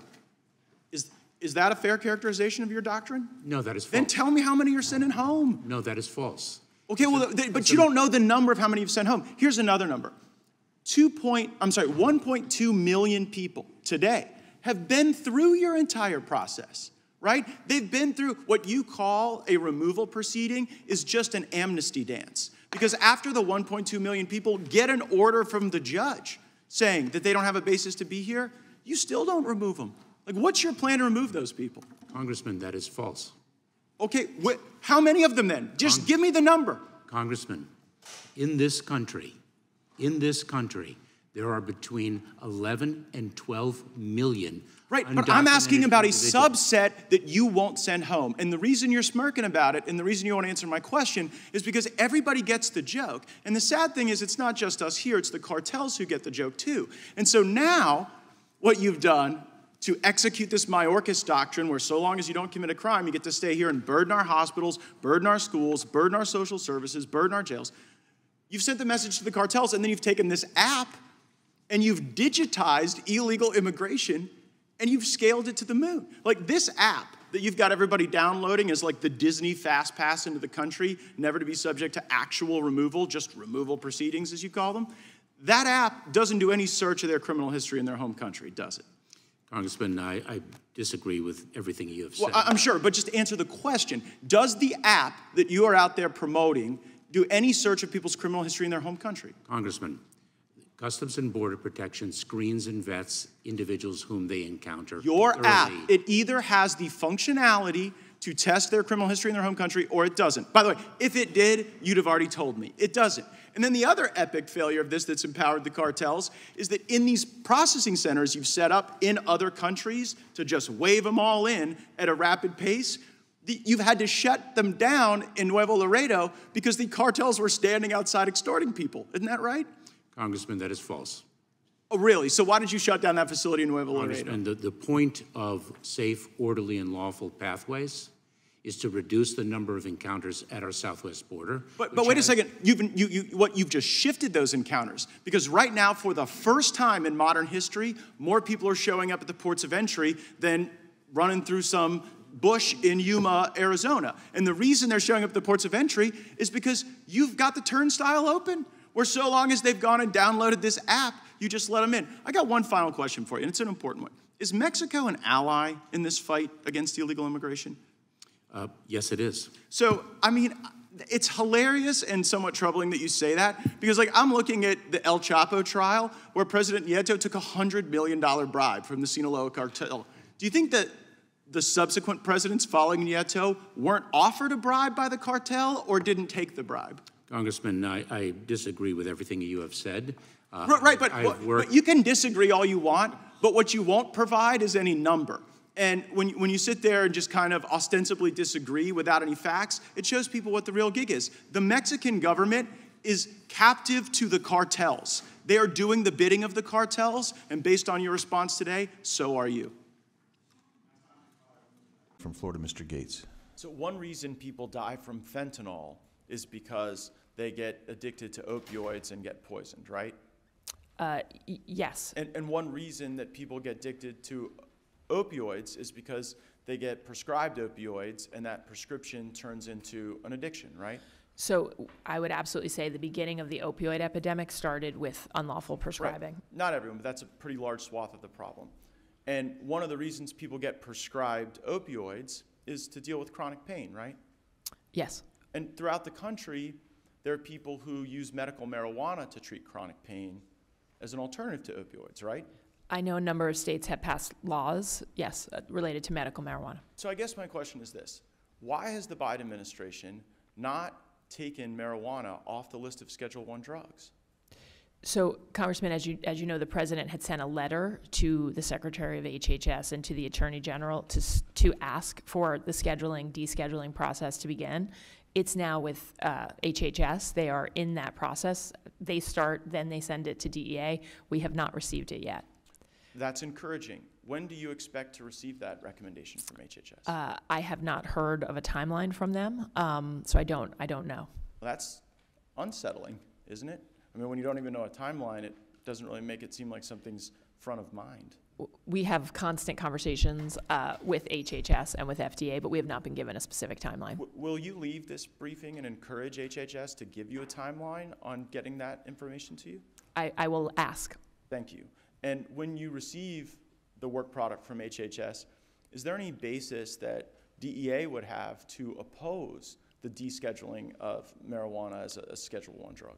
So the way the scheduling process works um, under the law and the regulations is HHS does a review. They then send it to DEA. We then do what is known as an eight-factor review. There's an opportunity for public comment as well, and so we go through that part of the process. And so obviously we we start with what HHS has provided us. We then go through our own review and a public comment process, and then we come to a scheduling decision. And and share with me, with the country, what your perspective is on what the outcome of that should be. Well, because I, I couldn't prejudge it at this point in time, I have not seen. Do you have a Do you have a personal view on whether or not marijuana should be a Schedule One drug? Uh, as the head of the DEA, I will ultimately be responsible for signing off on will, what the will scheduling you consider in the analysis that, that's being done uh, the studies that pretty extensively show that in states where there is medical marijuana access, there's a lower rate of prescribing these opioids that then can lead to addiction, which then can lead to the, the deaths that we've seen. You have my full commitment, Congressman, that I will keep an open mind. I will look at all the research. I expect that we will get, you know, additional public comment or research that comes in, and I will look at all of it. And Mr. Chairman, I seek unanimous consent to enter into the record a study conducted by two, H, two PhDs, Marie Hayes and Mark Brown, that looked at the prescribing of opioids in states with medical marijuana programs and, and indeed found uh, that states with medical cannabis laws had a 24.8 lower mean annual opioid overdose mortality rate. Without objection. Uh, I really hope we get this done. I, it's, we're two years into the Biden administration, and I honestly had hoped that by now we would have already descheduled marijuana from the Schedule 1 list. Maybe talk to me a little bit about the challenges that DEA has in this patchwork system where marijuana is federally illegal, but then hemp is allowed under the Farm Bill, and then these, you got people operating under the color of law in all these states. I mean, doesn't that seem like the least effective way to go about this? Uh, if I could speak more generally about our diversion program, um, which is the the unit that controls all of the scheduling, um, all these questions you're raising. Uh, this is an important part of our work at DEA right now is to look at the existing regulations and the existing processes. But it's hard, right? It, it, I just want you, I want to draw from you the obvious admission that different states having different programs and then the federal government having sort of an, an incongruent regulatory system with the hemp law and schedule one being maintained that that is confusing and we deal with it, Congressman, all the time. Even, and it makes it harder, right? The e fact that it's patchwork does probably make the job of DEA agents harder. Even look at xylazine right now, which is something we're having conversations about. Is lacing fentanyl? It is. It is. Certain states have now moved to schedule xylazine. It has not yeah. yet been scheduled in the federal government. So these are challenges we face all and, the time. And I would, and I would just, I would just also add, there's a huge research potential to unlock if we get this right, and I certainly hope that we do. And I, I appreciate your commitment to gild the lily at HHS and get that work product in your hands. Thank you, Mr. Chairman. I yield back. Uh, the chair now recognizes the gentleman from South Carolina, but first, uh, seek unanimous consent to allow the gentleman from Florida, member of the full committee, to participate and have the time waived to him for the subcommittee proceedings. Mr. Chairman, I object. Uh, oh, no, I withdraw the objection. Thank you. Thank you. And the chair recognizes the gentleman from South Carolina, Mr. Fry. Mr. Chairman, I'd like to yield my five minutes to the gentleman from Florida, Mr. Matt Gaetz. Thank the gentleman for yielding. Um, Ms. Scanlan, we just heard my Democrat colleague, Mr. Cohen, say that your circumstance could have been fully resolved if we'd have just had some barriers up in the, in the women's showers. Do, do you think that that's a sufficient way to resolve what we're dealing with here? I think by um, Representative Cohen admitting that we need barriers acknowledges there are biological differences between men and women. And by acknowledging that we need to have private spaces that are separate from each other, why can't we just use the locker rooms that we've always used, the men's and the women's? If you're acknowledging that we need protection and privacy from these men, then you're acknowledging that the locker rooms we've always used are the correct ones. My next question is for uh, Shannon Minter. Are you familiar with the changes in law recently in Washington state regarding transgender youth? Uh, yes. And uh, as I understand it, it used to be the case in Washington state that if a youth showed up at an emergency shelter, there was a legal requirement to notify the parent within 72 hours in the absence of some abuse or neglect. Is that your understanding of what the law was then? I believe that is correct. And then the law changed, where now in Washington state, if someone shows up to one of these shelters who's a minor uh, and says that their parents don't agree with them changing their gender, that the shelter no longer has to notify the parents within 72 hours and can instead notify a government authority. Do I have that right? The parents will be notified. There's no question about that. This simply allows for a delay in order to allow them to investigate to make sure this child is going to be safe. There's no question that the parents will be notified. How long should parents have to wait, not knowing where their child is, while a government process is playing out to make a gender determination?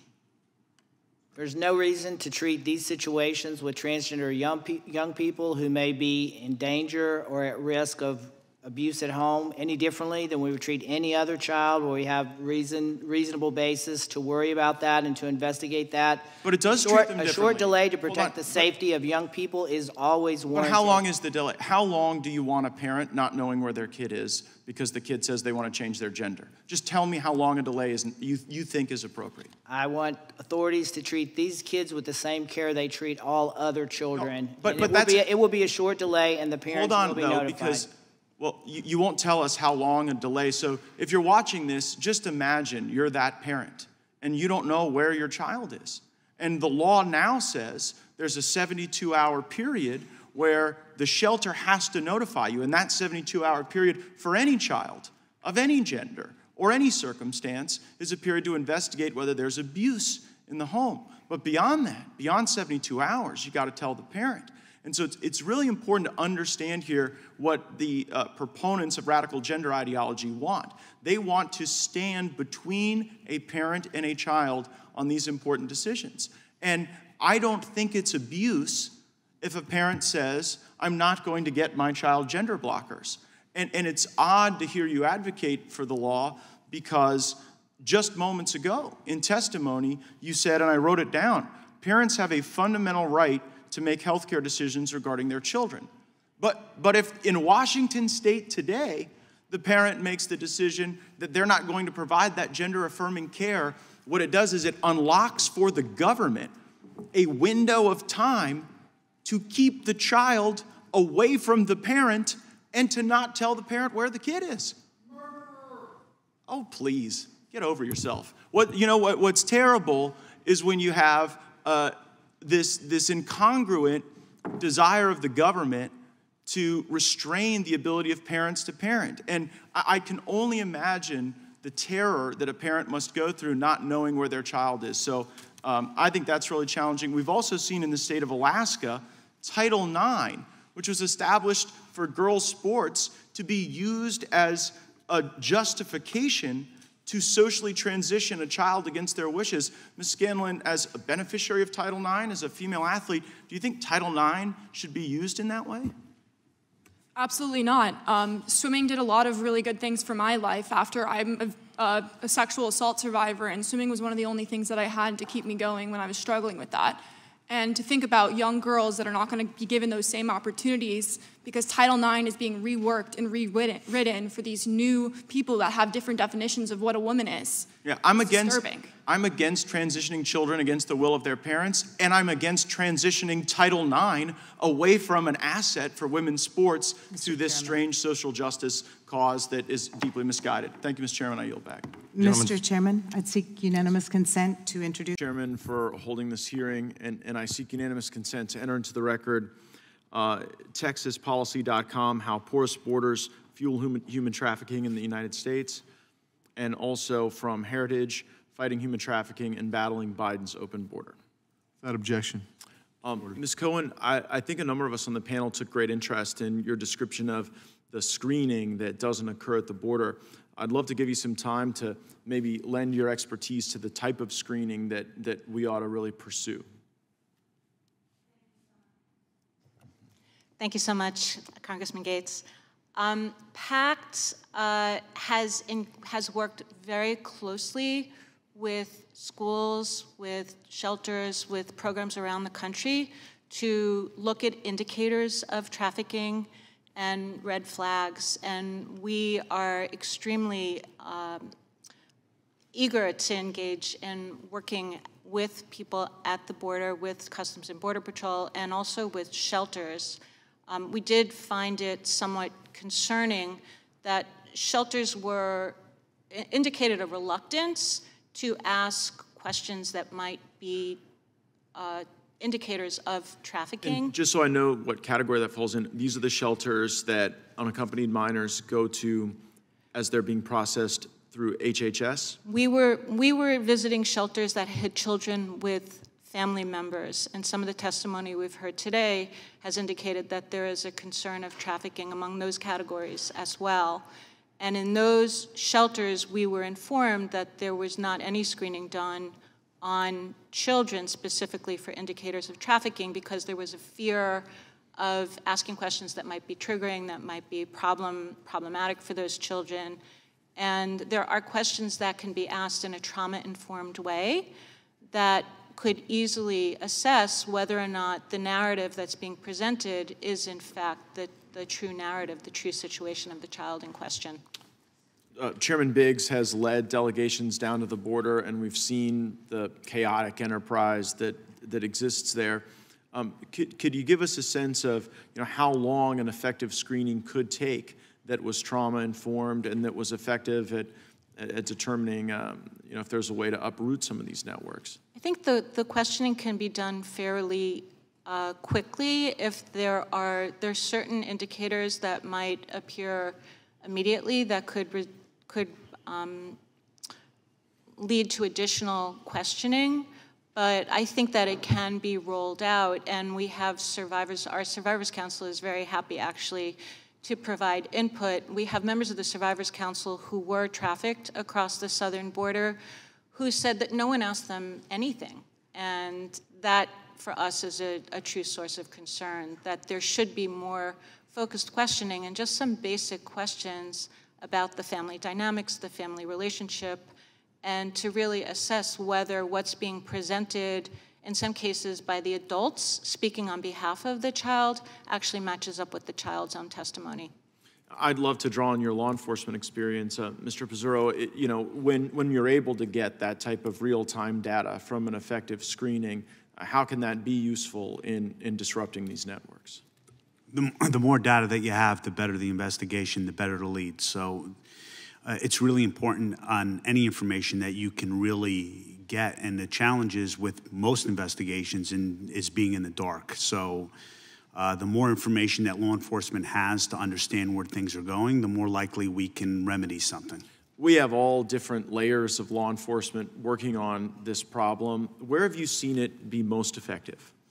The most effective is um, just from a trafficking standpoint, is the actual training and the actual let's say, prioritizing of it. And I think the challenge is it's not really prioritized in law enforcement because we're doing so many different things, and I think we're inundated. So I think that's part of the challenge. No, it, it completely is. And, and Mr. Chairman, I, I, reflect back on when we had Steve Friend before us, uh, who'd been at the FBI, and he had been working some of these cases from a federal level. And when he was reassigned to surveil uh, parents at school board meetings, then no one else picked up those files, and, and they just uh, they went by the wayside. So I think I think you're right that prioritization is probably pretty central to. And, and the subject matter, honestly, is that from a law enforcement perspective, it's it's even child sexual abuse material.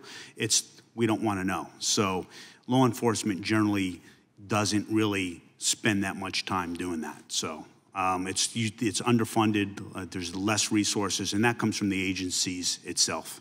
No, thank you for your testimony. I yield back. Gentleman yields. The gentleman floor is recognized five minutes. I guess I'm just wondering, Mr. Attorney General, has anyone at the department told President Biden to knock it off with Hunter? I mean, you guys are charging Hunter Biden on some crimes, investigating him on, on others. You've got the president bringing Hunter Biden around to state dinners. Has anyone told him to knock it off? Our job in the Justice Department is to pursue our cases without reference uh, to what's happening in the outside world. You, just yes or no. Have you done that? That is what we do. So it's a no? No one that I know of has spoken to the White House about the Hunter Biden case. I'm wondering of then. Not. Okay, I got it. I got it. So Hunter Biden is selling art to pay for his $15,000 a month rent in Malibu. How can you guarantee that the people buying that art aren't doing so to gain favor with the president? The job of the Justice Department is to investigate criminal allegations. You have information. Are you investigating this? I mean, someone who bought Hunter Biden's art ended up with a prestigious appointment to a federal position. Doesn't it look weird that he's he's become this immediate success in the art world as his dad is president of the United States? Isn't that odd?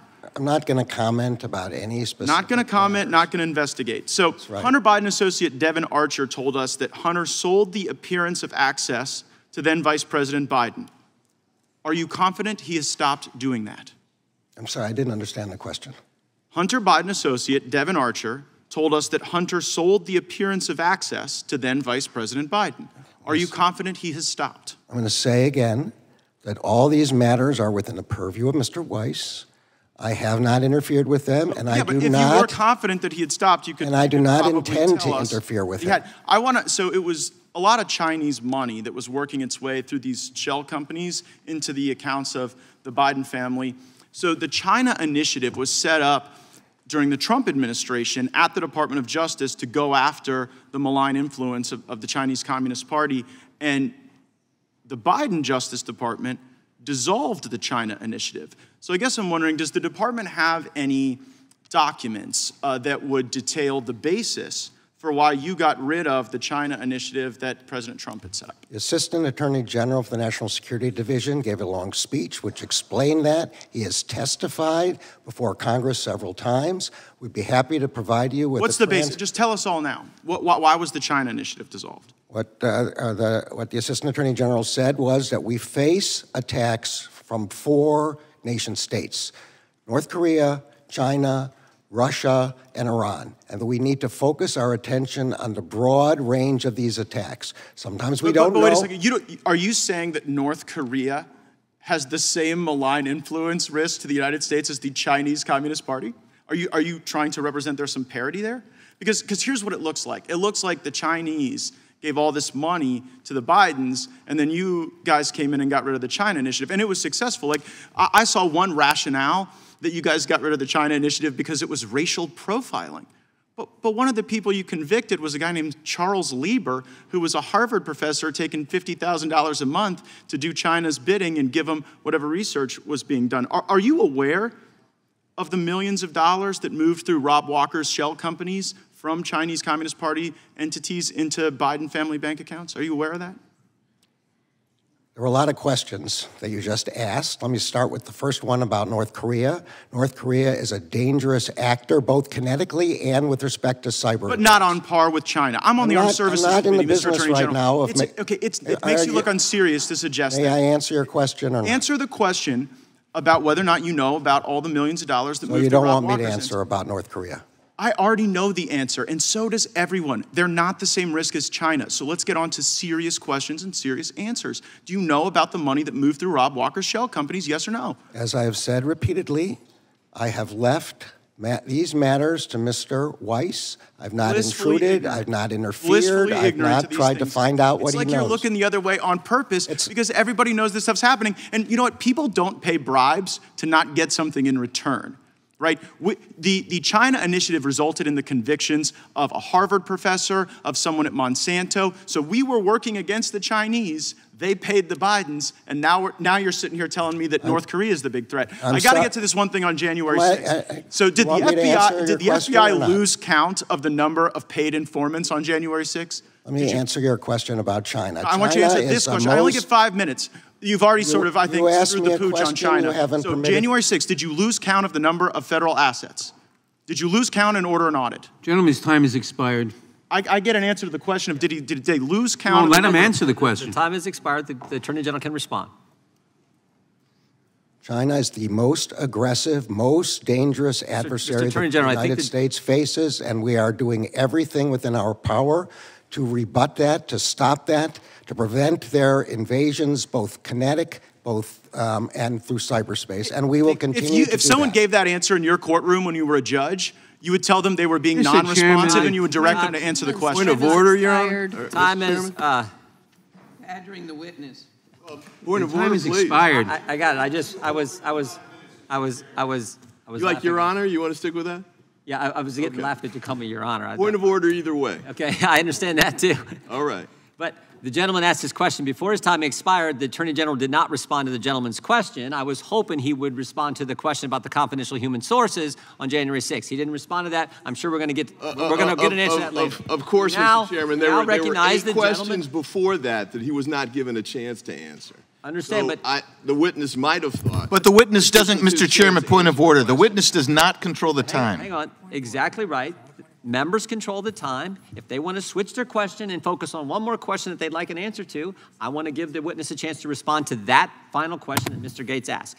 He didn't respond to it. Someone else is going to ask it, I'm sure. We now recognize the gentleman from Tennessee for five minutes. The Chair now recognizes the gentleman from uh, Florida, Mr. Gaetz. I think we got him remotely. Is that right?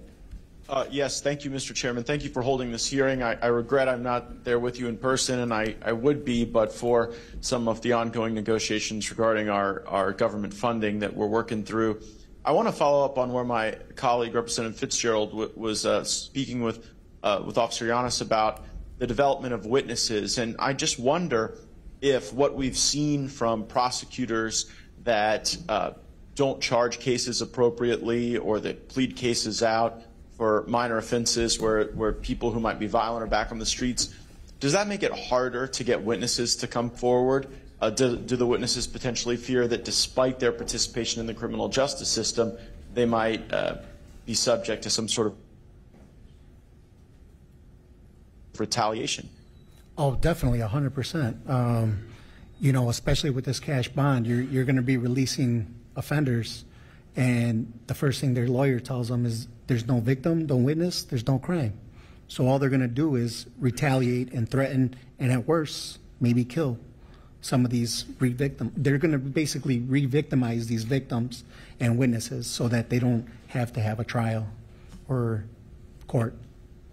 It's just an astonishing um, amount of testimony that we have a criminal justice system that now the participants in that system are saying re-victimizes the people that we're trying to protect. Uh, I don't believe that the answer to these questions comes out of Washington, but I do think hearings like this are really important because you know we want to get a sense of what some of the early warning signs are in a community like Chicago, so that the challenges you face don't metastasize. If you were giving a briefing to another community that had uh, a prosecutor with some of the same theories that uh, the prosecutors have had in Chicago or some of the constraints that a city council might try to put on a police department. What, what would you do to warn other communities about some of the early things that they would want to rebuff so that their streets aren't turned over to the criminals like Chicago's have been? It's very difficult because uh, I would also fear for their safety, you know, so it's like uh, I. Um, I can only speak for myself. Like after the incident that happened to me, I had my family and me move out of the city because I just felt it unsafe. Um, I love the city of Chicago, and it's a beautiful city. I love the people, the community, but I just felt like I couldn't protect my family the way I used to. So, if that answers your question. Yeah, I'd love the lieutenant's perspective on that as well.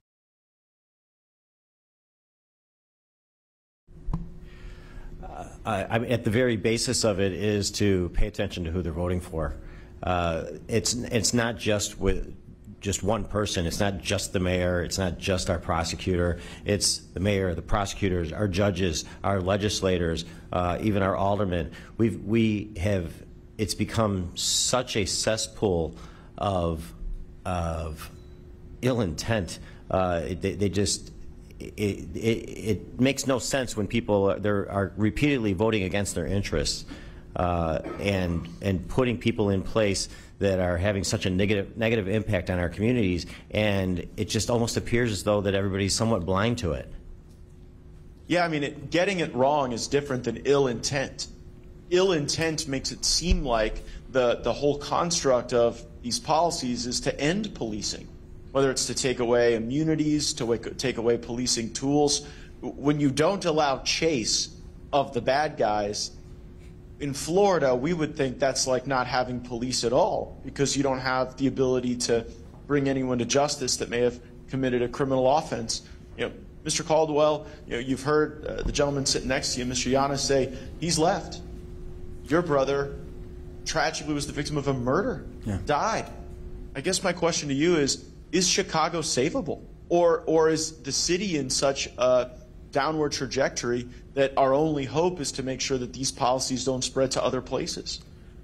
That's something that I've thought about a great deal since last year. Is Chicago savable? Absolutely, it is savable. I think we absolutely have to unite as a city. And a lot of the leadership that we've seen, Brandon Johnson, as you know, he just got elected into office, but crime is now up 29, 30 percent if the leadership doesn't start changing, if the folks in Chicago don't start voting differently and demanding justice versus becoming numb to what we see as a daily slaughter, then we can't get anything done. We can't have movement. But I do believe that the city can be saved and is worth being saved. Thank you all for your testimony. Thank you, Mr. Chairman, for having this hearing, and I yield back.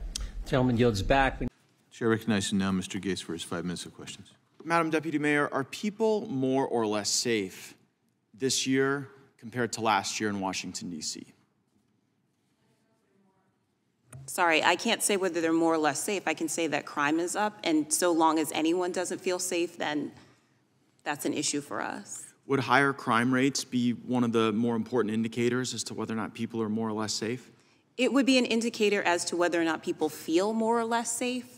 So it's something that we certainly look at in determining that. I don't know. I think people could feel unsafe even if they were safe, but this doesn't seem to be a delusion, right? Uh, the cases of sexual assault rose 111% over the course of a year. Homicides increased by 38%. Motor vehicle thefts doubled, increasing 106%. Instances of arson over 125%, and carjackings by 50, 55%. Why do you think that is? There's a host of complex reasons why that's the case. You've heard some. We talk about our ecosystem, policy reasons, right? There do you think are, the soft on crime policies are one reason? I, I don't know that I would say soft on crime policies. What I would say is that there's a number of reforms in policy that have made in the that have been made in the district that we believe need to be adjusted, which is why there's been a number of proposals from the mayor, um, legislation passed by the council to take a look at where we're getting the type of And- and impact that we don't want. I, I agree with Mr. App that the only way this works is with collaboration. And so, what do you think you would highlight as like the the main uh, policy change that the mayor has proposed that could maybe put some downward pressure on this rising violent crime? Sure, there's a host of um, proposals that the mayor made related to penalty enhancements, to um, aligning uh, penalties for gun crimes with with federal um, penalties. So there's there's those, but there's also those on information sharing. So, so, so hold on, let's start with those though. But the underlying premise there is that enhanced punishment can have a deterrent effect and reduce crime, right? we absolutely agree with that. Yes, that Yeah. accountability is an important part of crime And. I'm definitely not blaming you for this because it's not your job. But when we look at the fact that the prosecutor o- over the DC area is has doubled their declinations, the, like from your standpoint on the front lines in city government, do, you- do you think that doubling the number of declinations um, goes in the right direction or the wrong direction? I would say that what we believe is that if MPD has made arrests, that people need to be held appropriately accountable. We always maintain that, Mayor But, but like your, it seems like the underlying premise of appropriately accountable is to have penalty enhancements. It's not as if you think people are being held too accountable, it's that they're not being held accountable enough, right? There absolutely needs to be accountability for those who engage in violent crime. I, I think Ms. Richards would probably agree with that. Uh, your, your testimony was harrowing, but uh, it could really concern me that people might not be willing to do these life-saving, critically important jobs like firefighting and EMS if they feel like they're going into a war zone. You, you, gave testimony about what it was like to wait on police as you're trying to save people's lives and help them. Is there anything you'd like to add to that?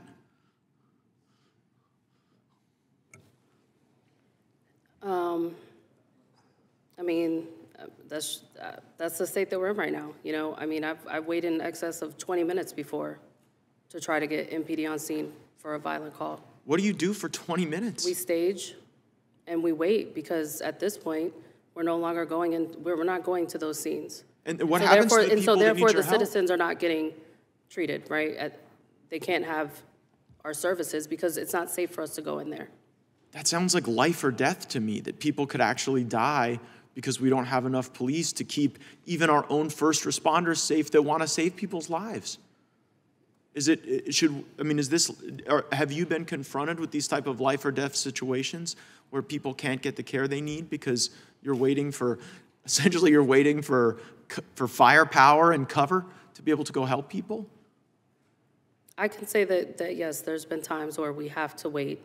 And like I said, I've waited personally myself in excess of 20 minutes for MPD to arrive on scene. I- I would observe, Mr. Chairman, that DC has some of the strongest gun control laws in the country, and uh, increasingly the law-abiding people, the people who, who want to be helpful, who want to be good neighbors, are constrained by those gun control laws, and yet the violent criminals are putting Miss Richards and, and all the people who want to do the good work she does in, in graver danger, uh, and that, uh, that might be something worthy of some federal review. I yield back. Gentleman yields chair recognizes gentleman from Florida, Mr. Gaetz. I was very heartened by your discussion of site visits to our prisons to get uh, firsthand understanding of what's going on there. Uh, sometimes members of Congress have had challenges doing that. Could you give us some advice if, if we wanted to glean those benefits and get that firsthand uh, experience? What, what's the best way for us to go about that with your team? Thank you, Congressman. So if you have your team reach out to our Office of Legislative Affairs, we will be happy to make that arrangement. Thank you so much. Um, does the Bureau of Prisons retaliate against people based on political on, on constitutionally protected speech? I have been very clear that retaliation will not be stood for on my watch. And, and you're confident that that's being observed throughout the Bureau? I'm confident that message has been delivered, and if anyone engages in retaliation, we will hold them accountable. Uh, Are you familiar with the matter of John Strand? That name is not familiar to me now. So, Mr. Strand was a witness at a hearing that we had uh, regarding some of the civil rights concerns of people who had interacted with the Department of Justice in January 6 uh, matters. He was convicted, sentenced in his, at FCI Miami, and I'd received word that he had been placed into enhanced confinement and into higher acuity uh, secure, securing uh, as a consequence of information that others had put out on his Twitter feed. So is that something you, does that ring a bell to you? Congressman, I wouldn't be able to speak to an individual's um, circumstances regarding their behavior inside our institutions. What I can assure you is that if an individual is placed in our special housing unit, it would be for conduct that happened inside the institution. So is, what's a special housing unit? Is a special housing unit is one of our uh, restrictive housing placements that could include disciplinary segregation, protective custody, um, and would house individuals that either were at harm to harm their, themselves or others, or had actually engaged in misbehavior inside our institutions. What, what I'm worried about is that Mr. Strand gave us testimony about some of his concerns, and as you know, people give us testimony. We sort through what's right and wrong and should be acted on and shouldn't be acted on. It's not gospel, it's just testimony. Uh, but then thereafter, people were posting on some of his social media platforms his concerns about the treatment he'd received at the Bureau. And then I sent a letter to you concerned about that because, like you, I don't want anyone retaliated against for constitutionally protected speech. And, and thereafter, I got a letter back from the aforementioned Office of Legislative Affairs in your office, and they say, in part, Mr. Strand was moved to a secure housing unit with increased supervision and frequent employee contact on September 26, 2023, pending completion of an investigation. So I guess my question is, when, when someone, is that like akin to what we would normally think about as solitary confinement? Those words, secure housing unit with increased supervision and frequent employee contact? We would use the word restrictive housing. Okay. So what's this then? Because this guy's a non-violent, he was never violent toward anyone, so I'm just wondering why the, the assets that we fund for the highest acuity violent people would be used for this purpose. Uh, Congressman, we use that uh, special housing unit for individuals that um, engage in any sort of misconduct inside our institutions. I don't know what he, he was found to be guilty of by our hearings administrative process that would warrant his uh, need to go into restrictive housing. But I assure you, we have administrative processes that people have to go through before those placements actually occur. Yeah, I, I get that you, you can't know the conditions of every single prisoner throughout the Bureau. This is one I've ripened and sent to you because I am worried that throughout our, DO, our Department of Justice and, and what we've endured, that there are some people who are sort of being used as pawns and they're being mistreated in order to send a message to other people. And I'm grateful that you've said here that is not your doctrine. You don't want to see that happen, but you also haven't been able to share with us an entire confidence that isn't happening in some cases. And I'm worried that it's, it's happening here. Have you heard of the matter of Owen Shroyer? No, that name is not familiar to me. Very similar fact pattern. You know, somebody who'd sort of spoken out, was, was prominent in the public, was convicted as a consequence of activities on January 6th, and now feels as though there's specific Bureau of Prison retaliation. I don't think any group of people should be retaliated against, so I look forward to taking you up on the offer to perhaps go and, uh, and, and do some site visits and, and see how people are being treated and get that information directly. So I, I hope I get prompt cooperation from OLA. I uh, thank the chair and I yield back.